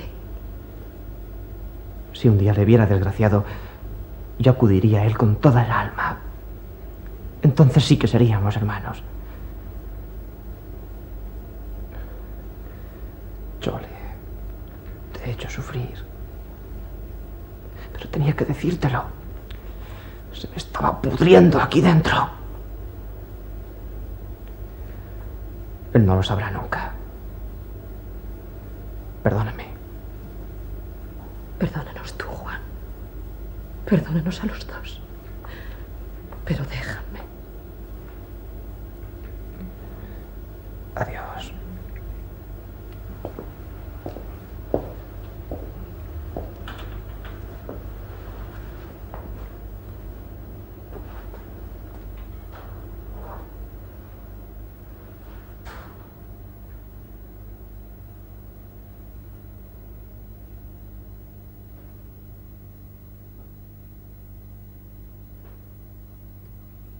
Imposible. Imposible. Si un día Fernando fuera desgraciado, Entonces sí que seríamos hermanos. Volveréis a serlo, pobre Juan. Yo estaba en medio de vosotros sin saberlo. Pero ya no lo estaré más.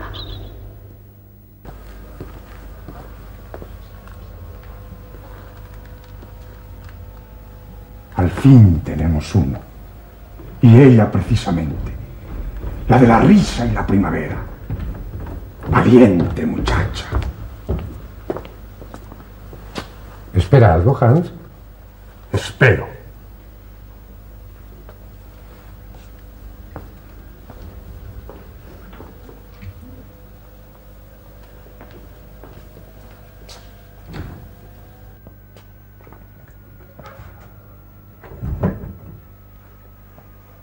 ¿Piensa trabajar esta noche? No. ¿Un cigarrillo? No. Parece preocupado. Sí, esa historia de los dos hermanos que acaba de contarme. ¿Qué quiere decir? No, nada. Una historia vulgar. El hermano sano y triunfador y el hermano enfermo y fracasado. Sí, pero ¿por qué me la ha contado sin mirarme? No hacía más que explicarle científicamente un caso que hemos tenido aquí. A esa torcedura morbosa del alma en los débiles, en los niños odiados, en los insuficientes, le ha dado la ciencia un nombre estúpido. Complejo de inferioridad. El nombre es relativamente nuevo, pero el drama es tan antiguo como el mundo. Según esa nomenclatura, el drama de Cain sería el primer complejo de inferioridad en la historia del hombre. Muy bien, pero usted me ha contado la historia sin mirarme. ¿Quiénes son esos dos hermanos? Cualquiera. No, cualquiera no.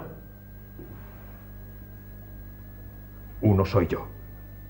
Tal vez. Doctor, doctor Fernando. ¿Qué ocurre? Ha sido la señorita Chole en el lago. ¿Chole? ¡Chole! ¡Chole! ¡Pronto, doctor! ¡Pronto! ¿Qué ha sido?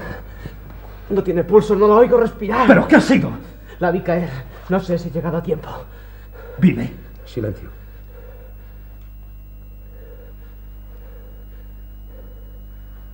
Está salvada. Chole. Chole, mírame.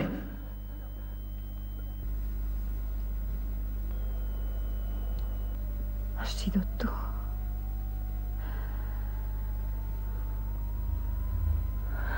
Gracias, Fernando.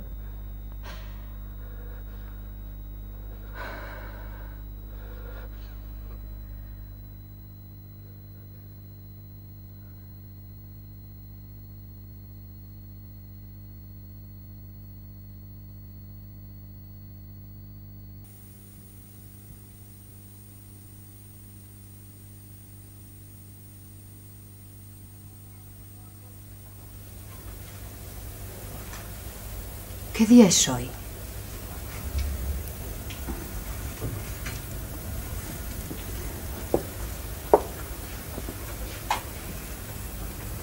Es el primer día de primavera. ¿Estás mejor? Sí, no ha sido nada.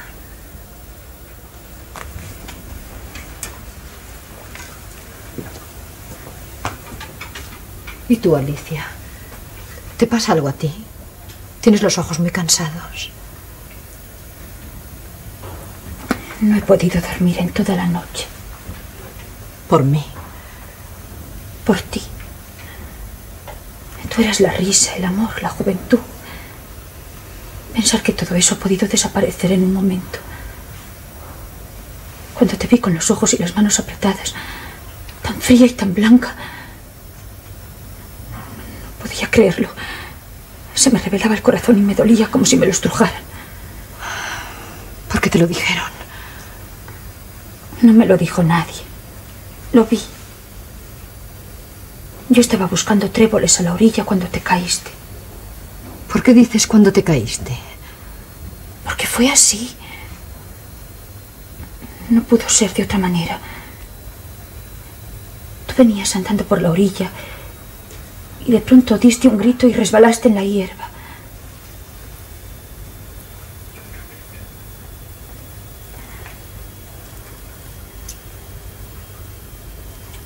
¿Verdad que fue así?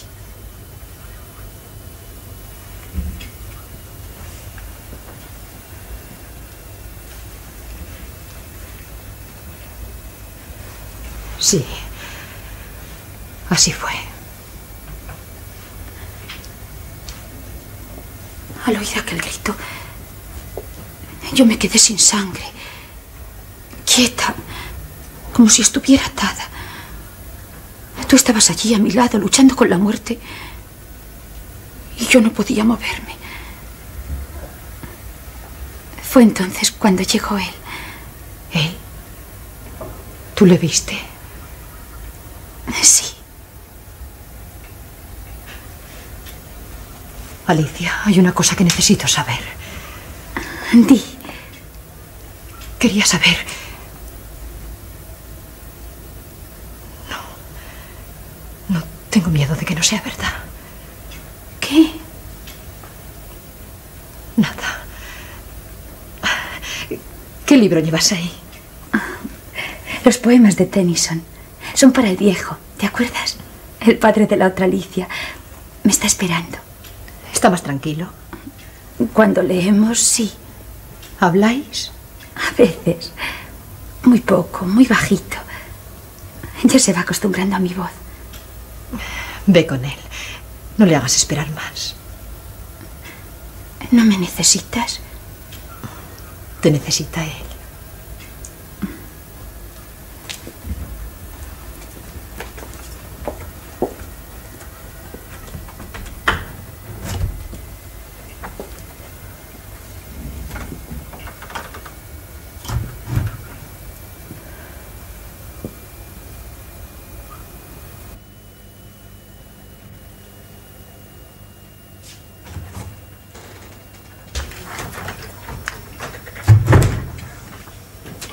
¿Cómo van esos ánimos? Bien ya del todo. Le he traído hasta flores. Preciosas. Gracias, doctor. De nada, no son mías. ¿De Fernando? Tampoco. Ya, ya sé.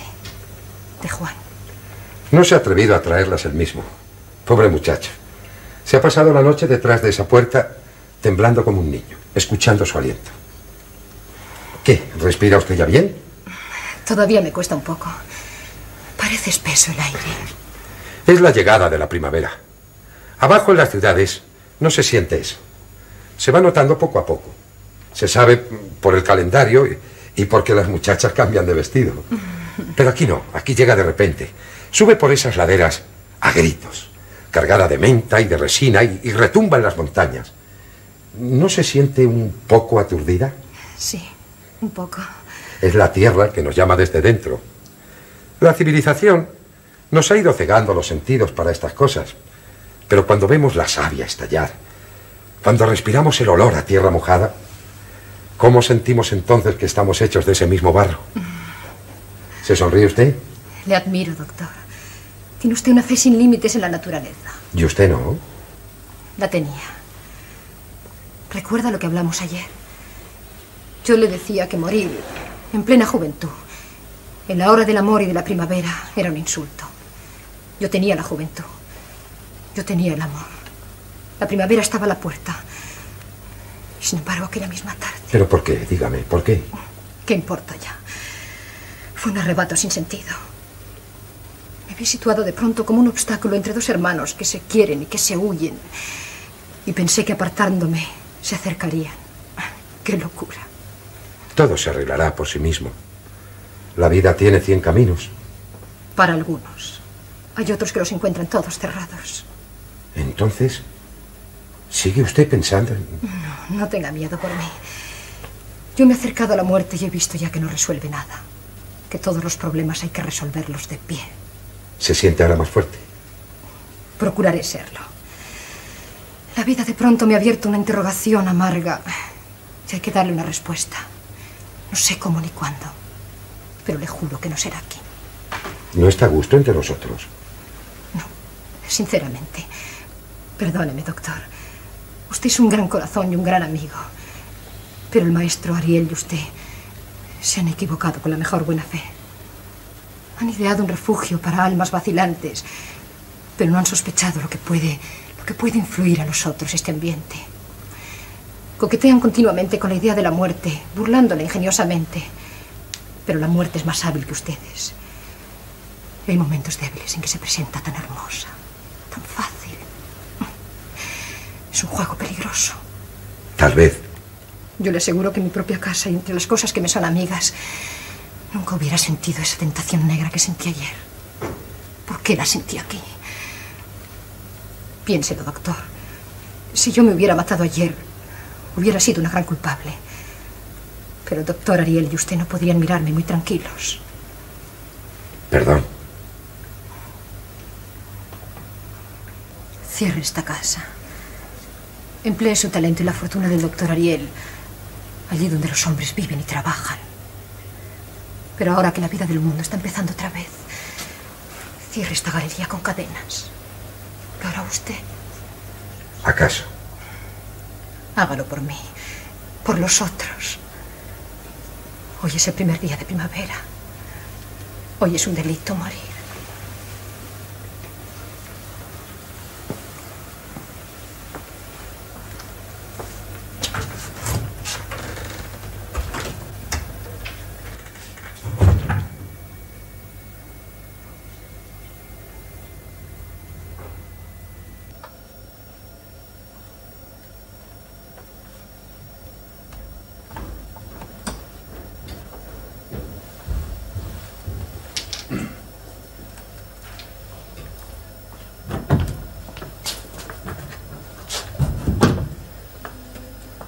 ¿Qué hay de nuevo, Hans? ¿Por qué se ha quitado usted su bata? Lo he pensado despacio. El doctor no dudará de mi lealtad. Pero hay cosas para las que yo no sirvo. Vengo a despedirme. Entonces, ¿nos deja? Sí, doctor. Lo siento.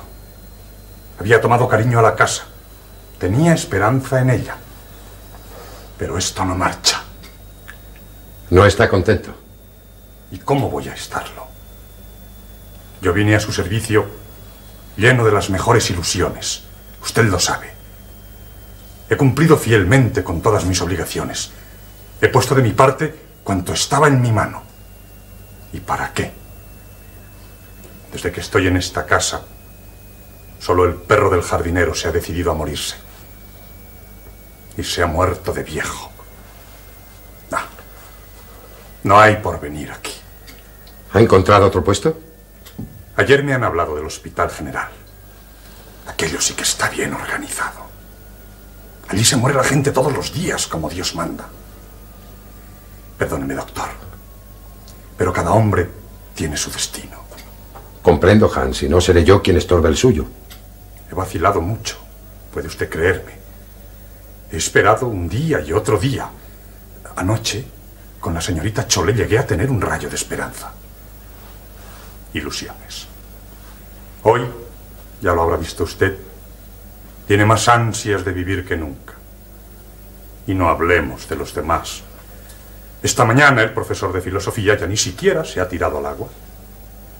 La cantante de ópera anda, anda por ahí entre los sauces, besando furiosamente a ese pobre muchacho. Y la dama triste, usted lo sabe, no está triste ya. Esto se hunde. Está bien, Hans. Está bien. Arreglaremos su cuenta cuando quiera. No vale la pena.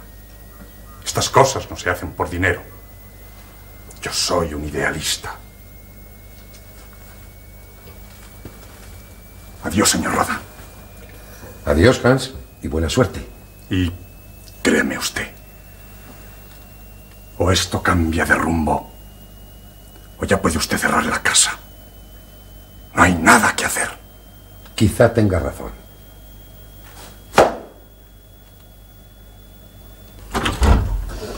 ¿Dónde se esconde mi cachorro? Alégrate, corazón. Salta, grita, aúlla. Ya me tienes aquí. Eh, te esperaba. ¿Sí? Nadie lo diría. Con esa cara.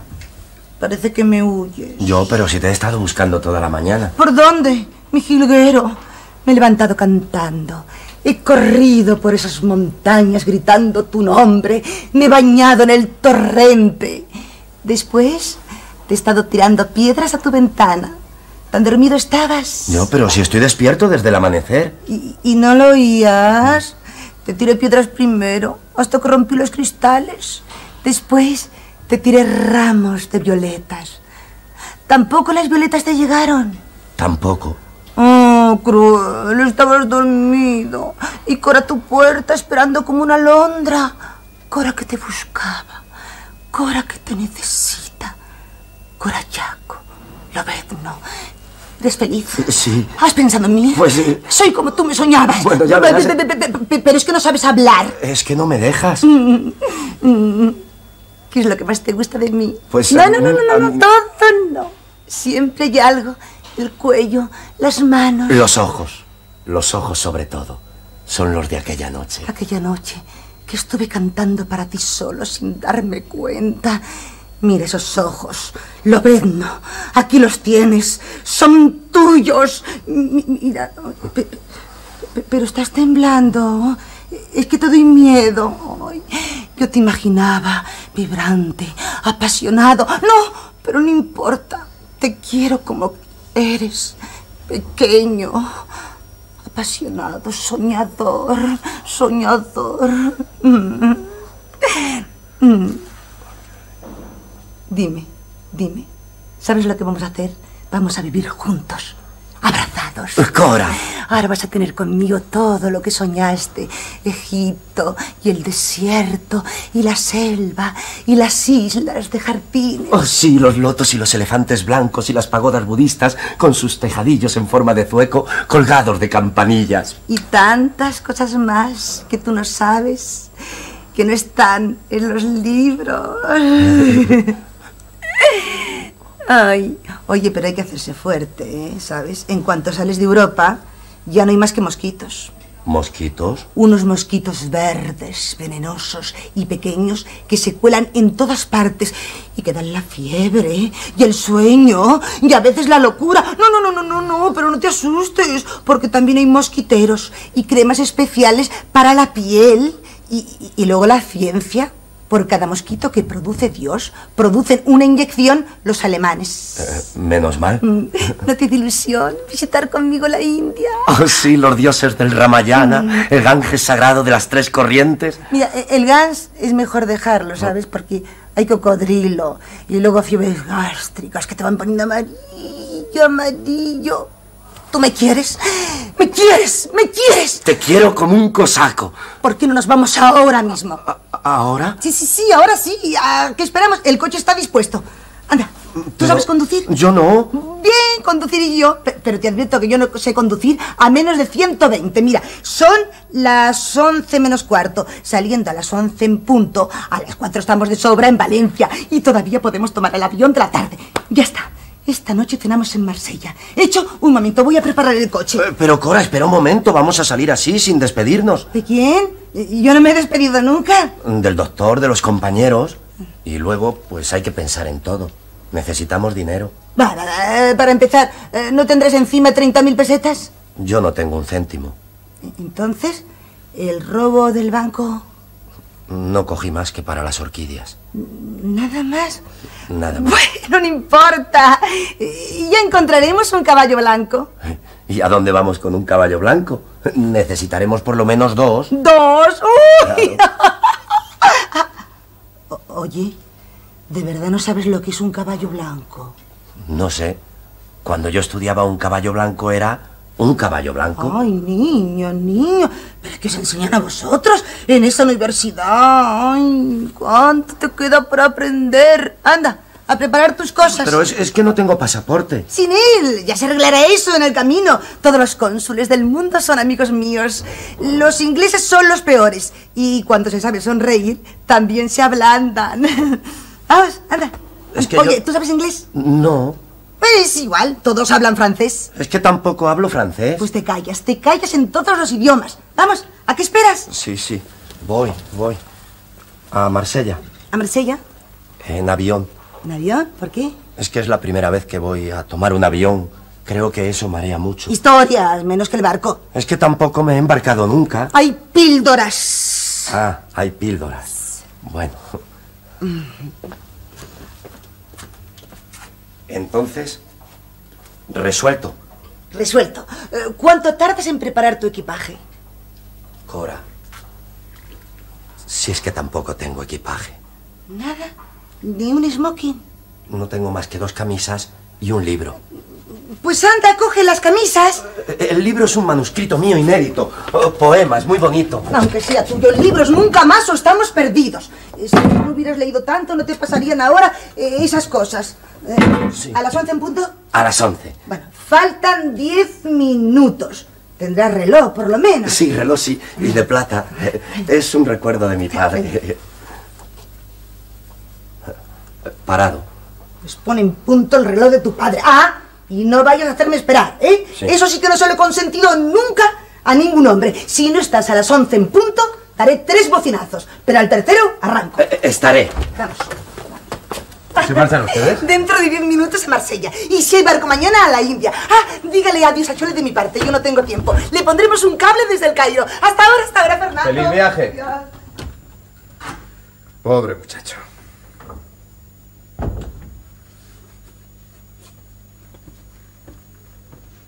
¿También usted se va? También. ¿Al Cairo? A la ciudad. Me han ofrecido un puesto en el Hospital General. Enhorabuena. Aquello es otra cosa. Hay ambiente. Acabo de leer un resumen de la Gaceta Médica. Solamente en una semana, 25 casos. Espléndido.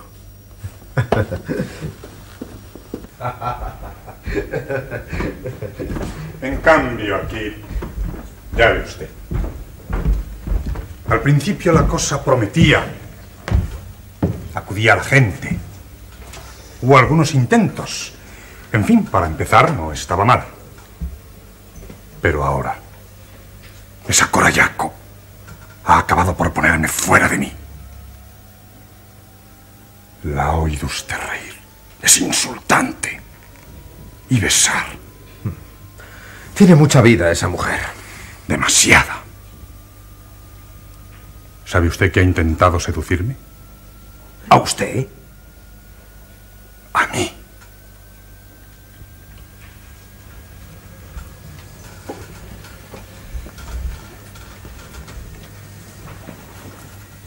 Esta mañana estaba yo afeitándome tranquilamente y así, como jugando, ha empezado a tirarme piedras. Tuve que refugiarme en el interior. Cuatro piedras como nueces metió por los cristales. Y después, un ramo de violetas.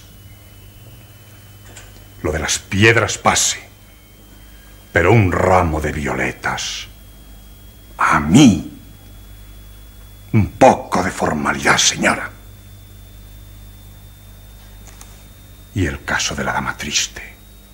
Es espantoso.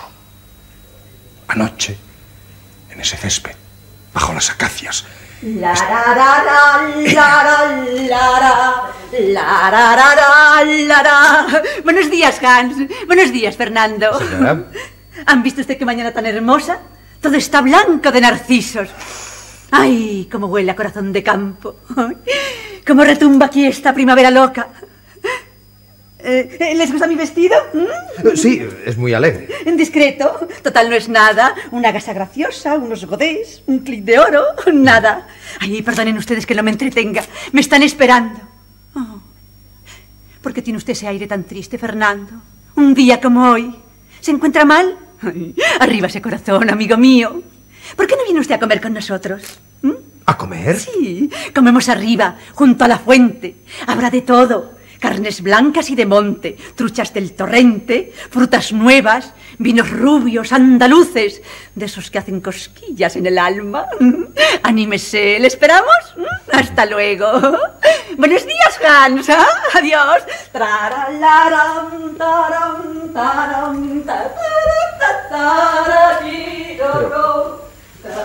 Es que se ha vuelto loca esta mujer. Peor. ¿No ha oído usted que tararea el Danubio azul? Sí, parecía. ¿Y eso no le recuerda nada? ¿El profesor de filosofía? El mismo.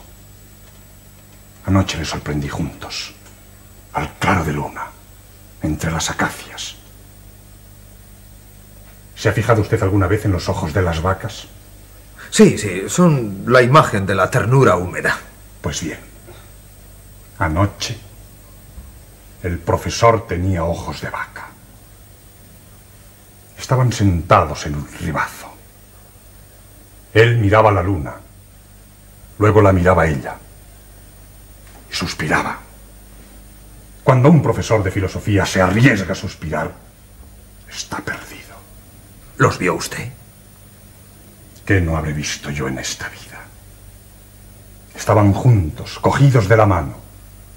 Él se reclinaba en su hombro y recitaba al oído una cosa íntima y lenta. ¿Versos? Seguro. No, no pude oír más que una estrofa suelta. Decía, todo cuerpo sumergido en el agua pierde de su peso una cantidad igual al peso del líquido que desaloja. ¿Le parece a usted? Es tremendo. Tremendo. Es la primavera. No hay nada que hacer. Ya se han despedido del doctor. Se marchan esta tarde. Juntos.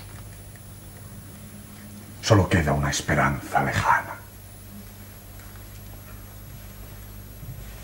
¿Recuerda usted la afición del profesor de tirarse a los lagos? Se van a Suiza. A Suiza.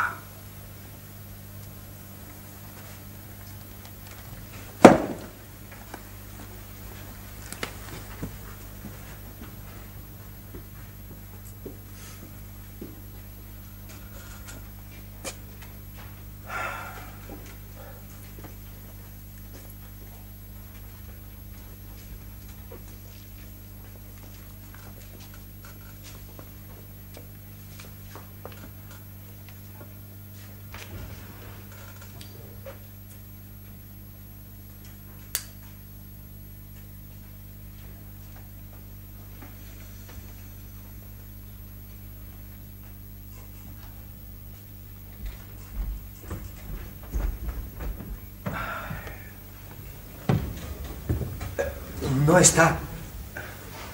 Cora debe estar en el jardín preparando el coche. Qué mujer, Fernando, qué mujer. Es terrible. ¿Por qué habrá venido? Tan bella como yo la soñaba. Sin embargo, es la verdadera.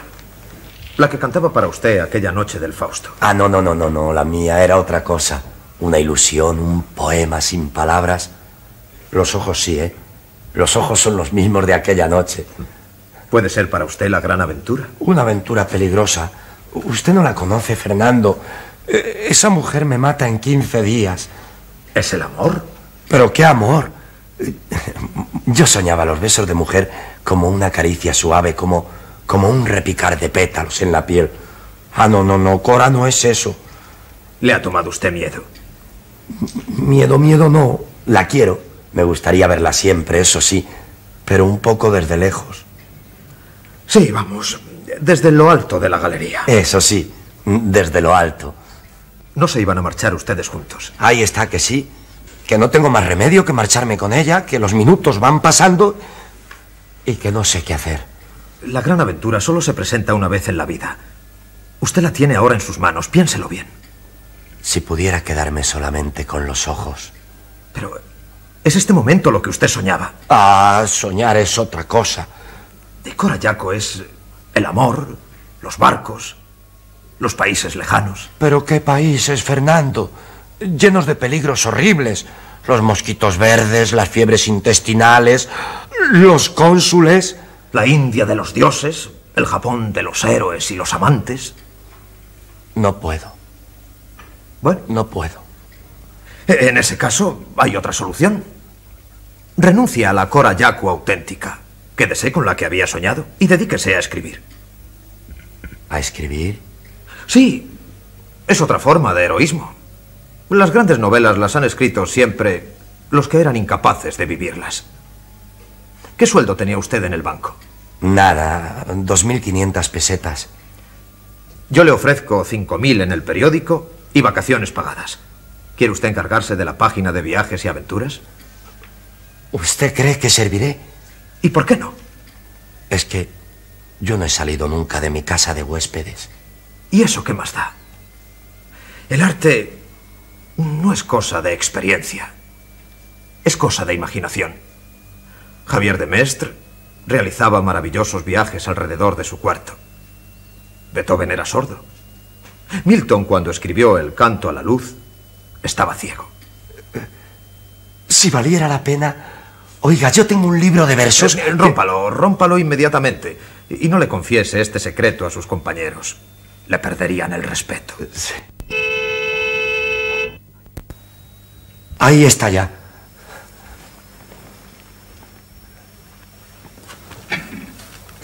¿Qué hora es, Fernando? ¿Qué hora es? Las once en punto. Al tercer bocinazo arranca. ¿Qué hago, Fernando? ¿Qué hago? Va uno. No lo piense más. O se va por ahí a vivir aventuras, o se va por ahí a escribirlas. Es que no tengo un céntimo. Estoy seguro que me mareo en el avión. Pero es una mujer la que le está llamando. No tengo más que dos camisas. Es Corayaco. Los mosquitos verdes. Es el amor. Los cocodrilos. Dos. Voy. Fernando, ¿qué es un caballo blanco? Según. Científicamente es un equino monodáctilo de cuatro patas y pigmento claro. ¿Y artísticamente?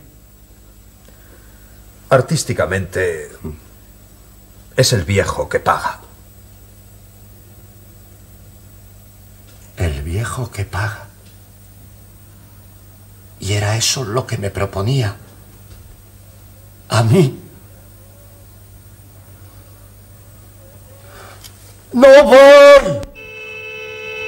¿Y tres? Las once. A las cuatro en Valencia. Al anochecer en Marsella. El mar. ¡Cora! ¡Cora!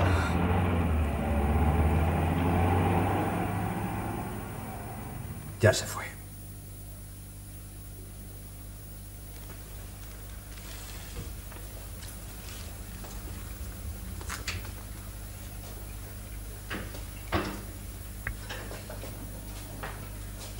Soy un pobre hombre. No. Es usted un héroe. Déjela marchar en paz y recuérdela. Es mejor. Sus vidas no podrían fundirse nunca. Bueno, y ahora a escribir el artículo de la semana próxima. Título: Una noche con Cora Yako en el Japón. ¿En el Japón? Sí, las fotografías las haremos después en el estudio, como siempre.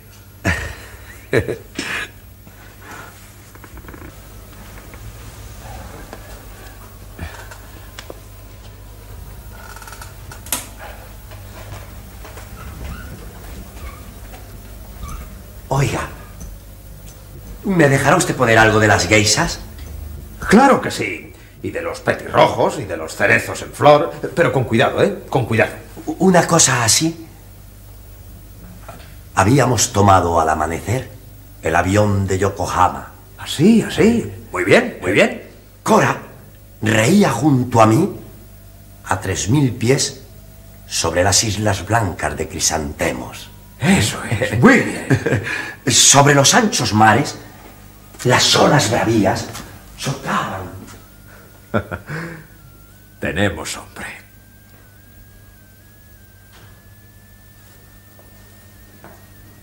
¿Estás mejor? ¿Te sientes débil todavía? Ya pasó todo. El dolor, el peligro. Lo otro habrá que resolverlo también, tarde o temprano.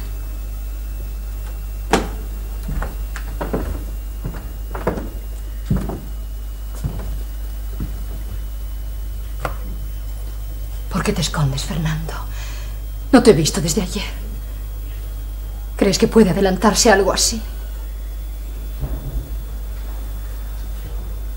No hablemos de eso ahora. No te he visto porque el doctor me lo prohibió. Tenías fiebre y necesitabas reposo y soledad.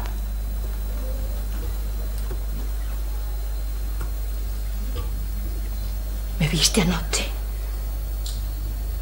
Sí. No respirabas todavía. Cuando te caíste al lago. No me caí. Lo quise yo. Iba a buscar la muerte. No, no es posible. También me lo parece a mí ahora. Pero ayer... Hay una cosa que necesito saber. Dime. Anoche cuando me caí, hubo un hombre que arriesgó su vida por la mía. Eras tú, ¿verdad? No. Hubiera querido serlo. Pero fue Juan. Él te vio caer. Yo no lo supe hasta después, cuando te trajeron aquí. Pobre Juan. Ha pasado la noche sin sueño. Con el oído pegado a mi puerta oyéndome respirar. Ha sufrido más que yo misma. Tú no sabes, Fernando. Lo sé todo. Todo. ¿Has hablado con él? El doctor me lo contó. Él no me lo diría nunca. Tampoco yo me atrevo a hablarle a él. Nos hemos estado huyendo como dos lobos heridos que se tuvieran miedo. ¿Hasta cuándo? Hasta ahora no puedo más. Compréndelo. Hasta para ser desgraciado hace falta tener un poco de costumbre. Y yo no puedo, no resisto. ¿Has pensado alguna solución? Sí. Salir de aquí. Huir. Pobre Juan. No ha tenido nunca nada suyo. Ha estado siempre solo entre todos nosotros. Mirando nuestra felicidad con los ojos hambrientos. Como un niño pobre delante de un escaparate. No puede seguir solo. Vete tú si puedes. Yo me quedo. Mi puesto ahora está aquí, a su lado. Porque te salvó la vida. Porque me ha entregado toda la suya. Pero entonces... Mírame. ¿Qué es lo que están haciendo dentro de ti? ¡Contesta! Ay, por lo que más quieras, déjame. No, no es posible. Estúpida de mujer que te está tendiendo una trampa. Y Juan mismo debe sacarte de ella. Que nos perdone o que nos mate. Pero engañarle no. Juan. Juan.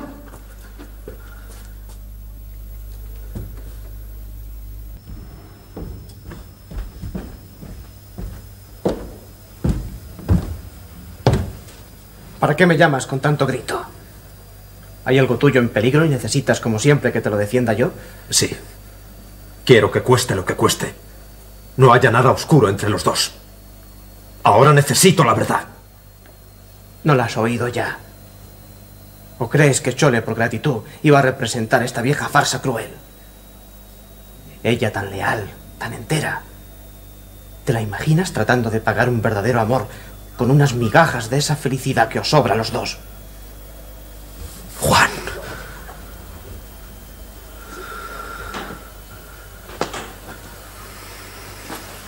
No, Fernando, no.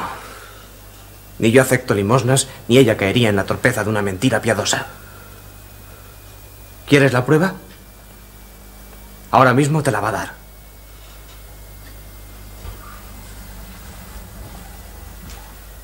Y con los ojos de frente. ¿Verdad, Chole?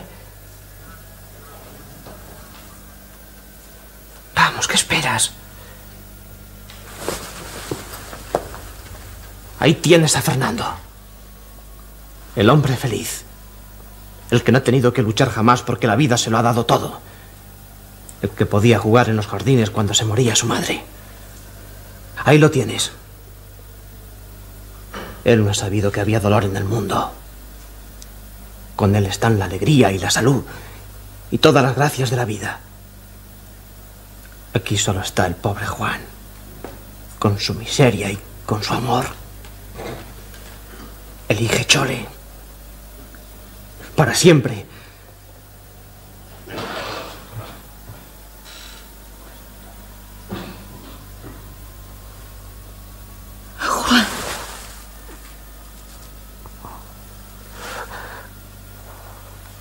¿La ves, Fernando? En mis brazos. Ya no eres tú solo. También Juan puede triunfar por una vez. Pero también por una vez. Tengo el orgullo de ser más fuerte que tú. Más generoso que tú. Llévatela lejos. Ahora ya podéis ser felices sin remordimientos. Porque también yo lo he sido por una vez siquiera. He sido bueno como tú. Y feliz como tú. Y te he visto llorar. Juan. Gracias, Jolie. Ya sabía yo que, que no podía ser. Que te engañabas a ti misma. Pero gracias por lo que has querido hacer. Llévala, Fernando.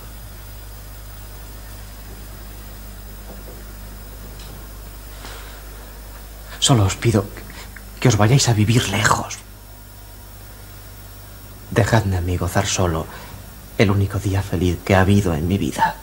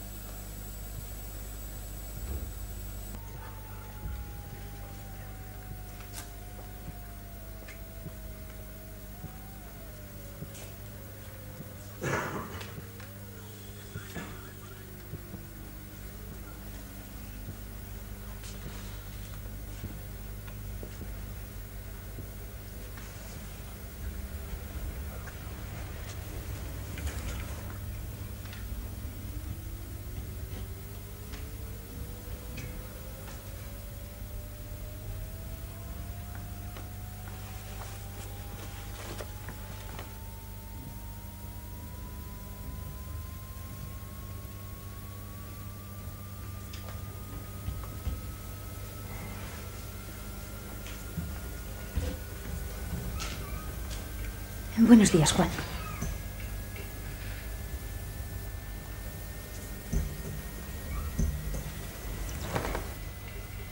¿Le ocurre algo? Nada. ¿Está usted temblando? Un poco de fiebre, tal vez. Es el día. Pero la primavera trae siempre una flor y una promesa para todos. ¿Lo cree usted así? Sí. El doctor me lo dijo un día. No le pidas nunca nada a la vida.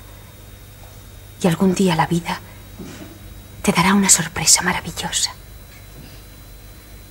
¿Y espera usted? Siempre. Quiere hacerme un favor, Juan. Hoy es día de vida y esperanza.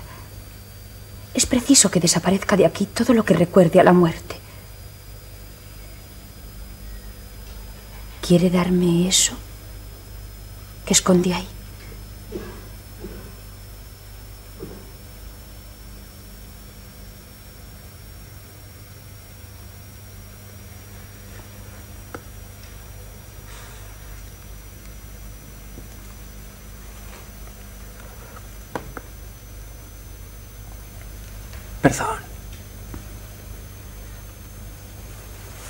Voy a tirarla al estanque.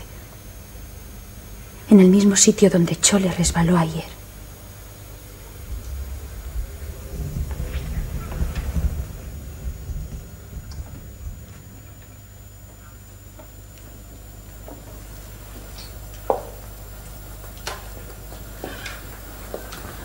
Espere, Alicia.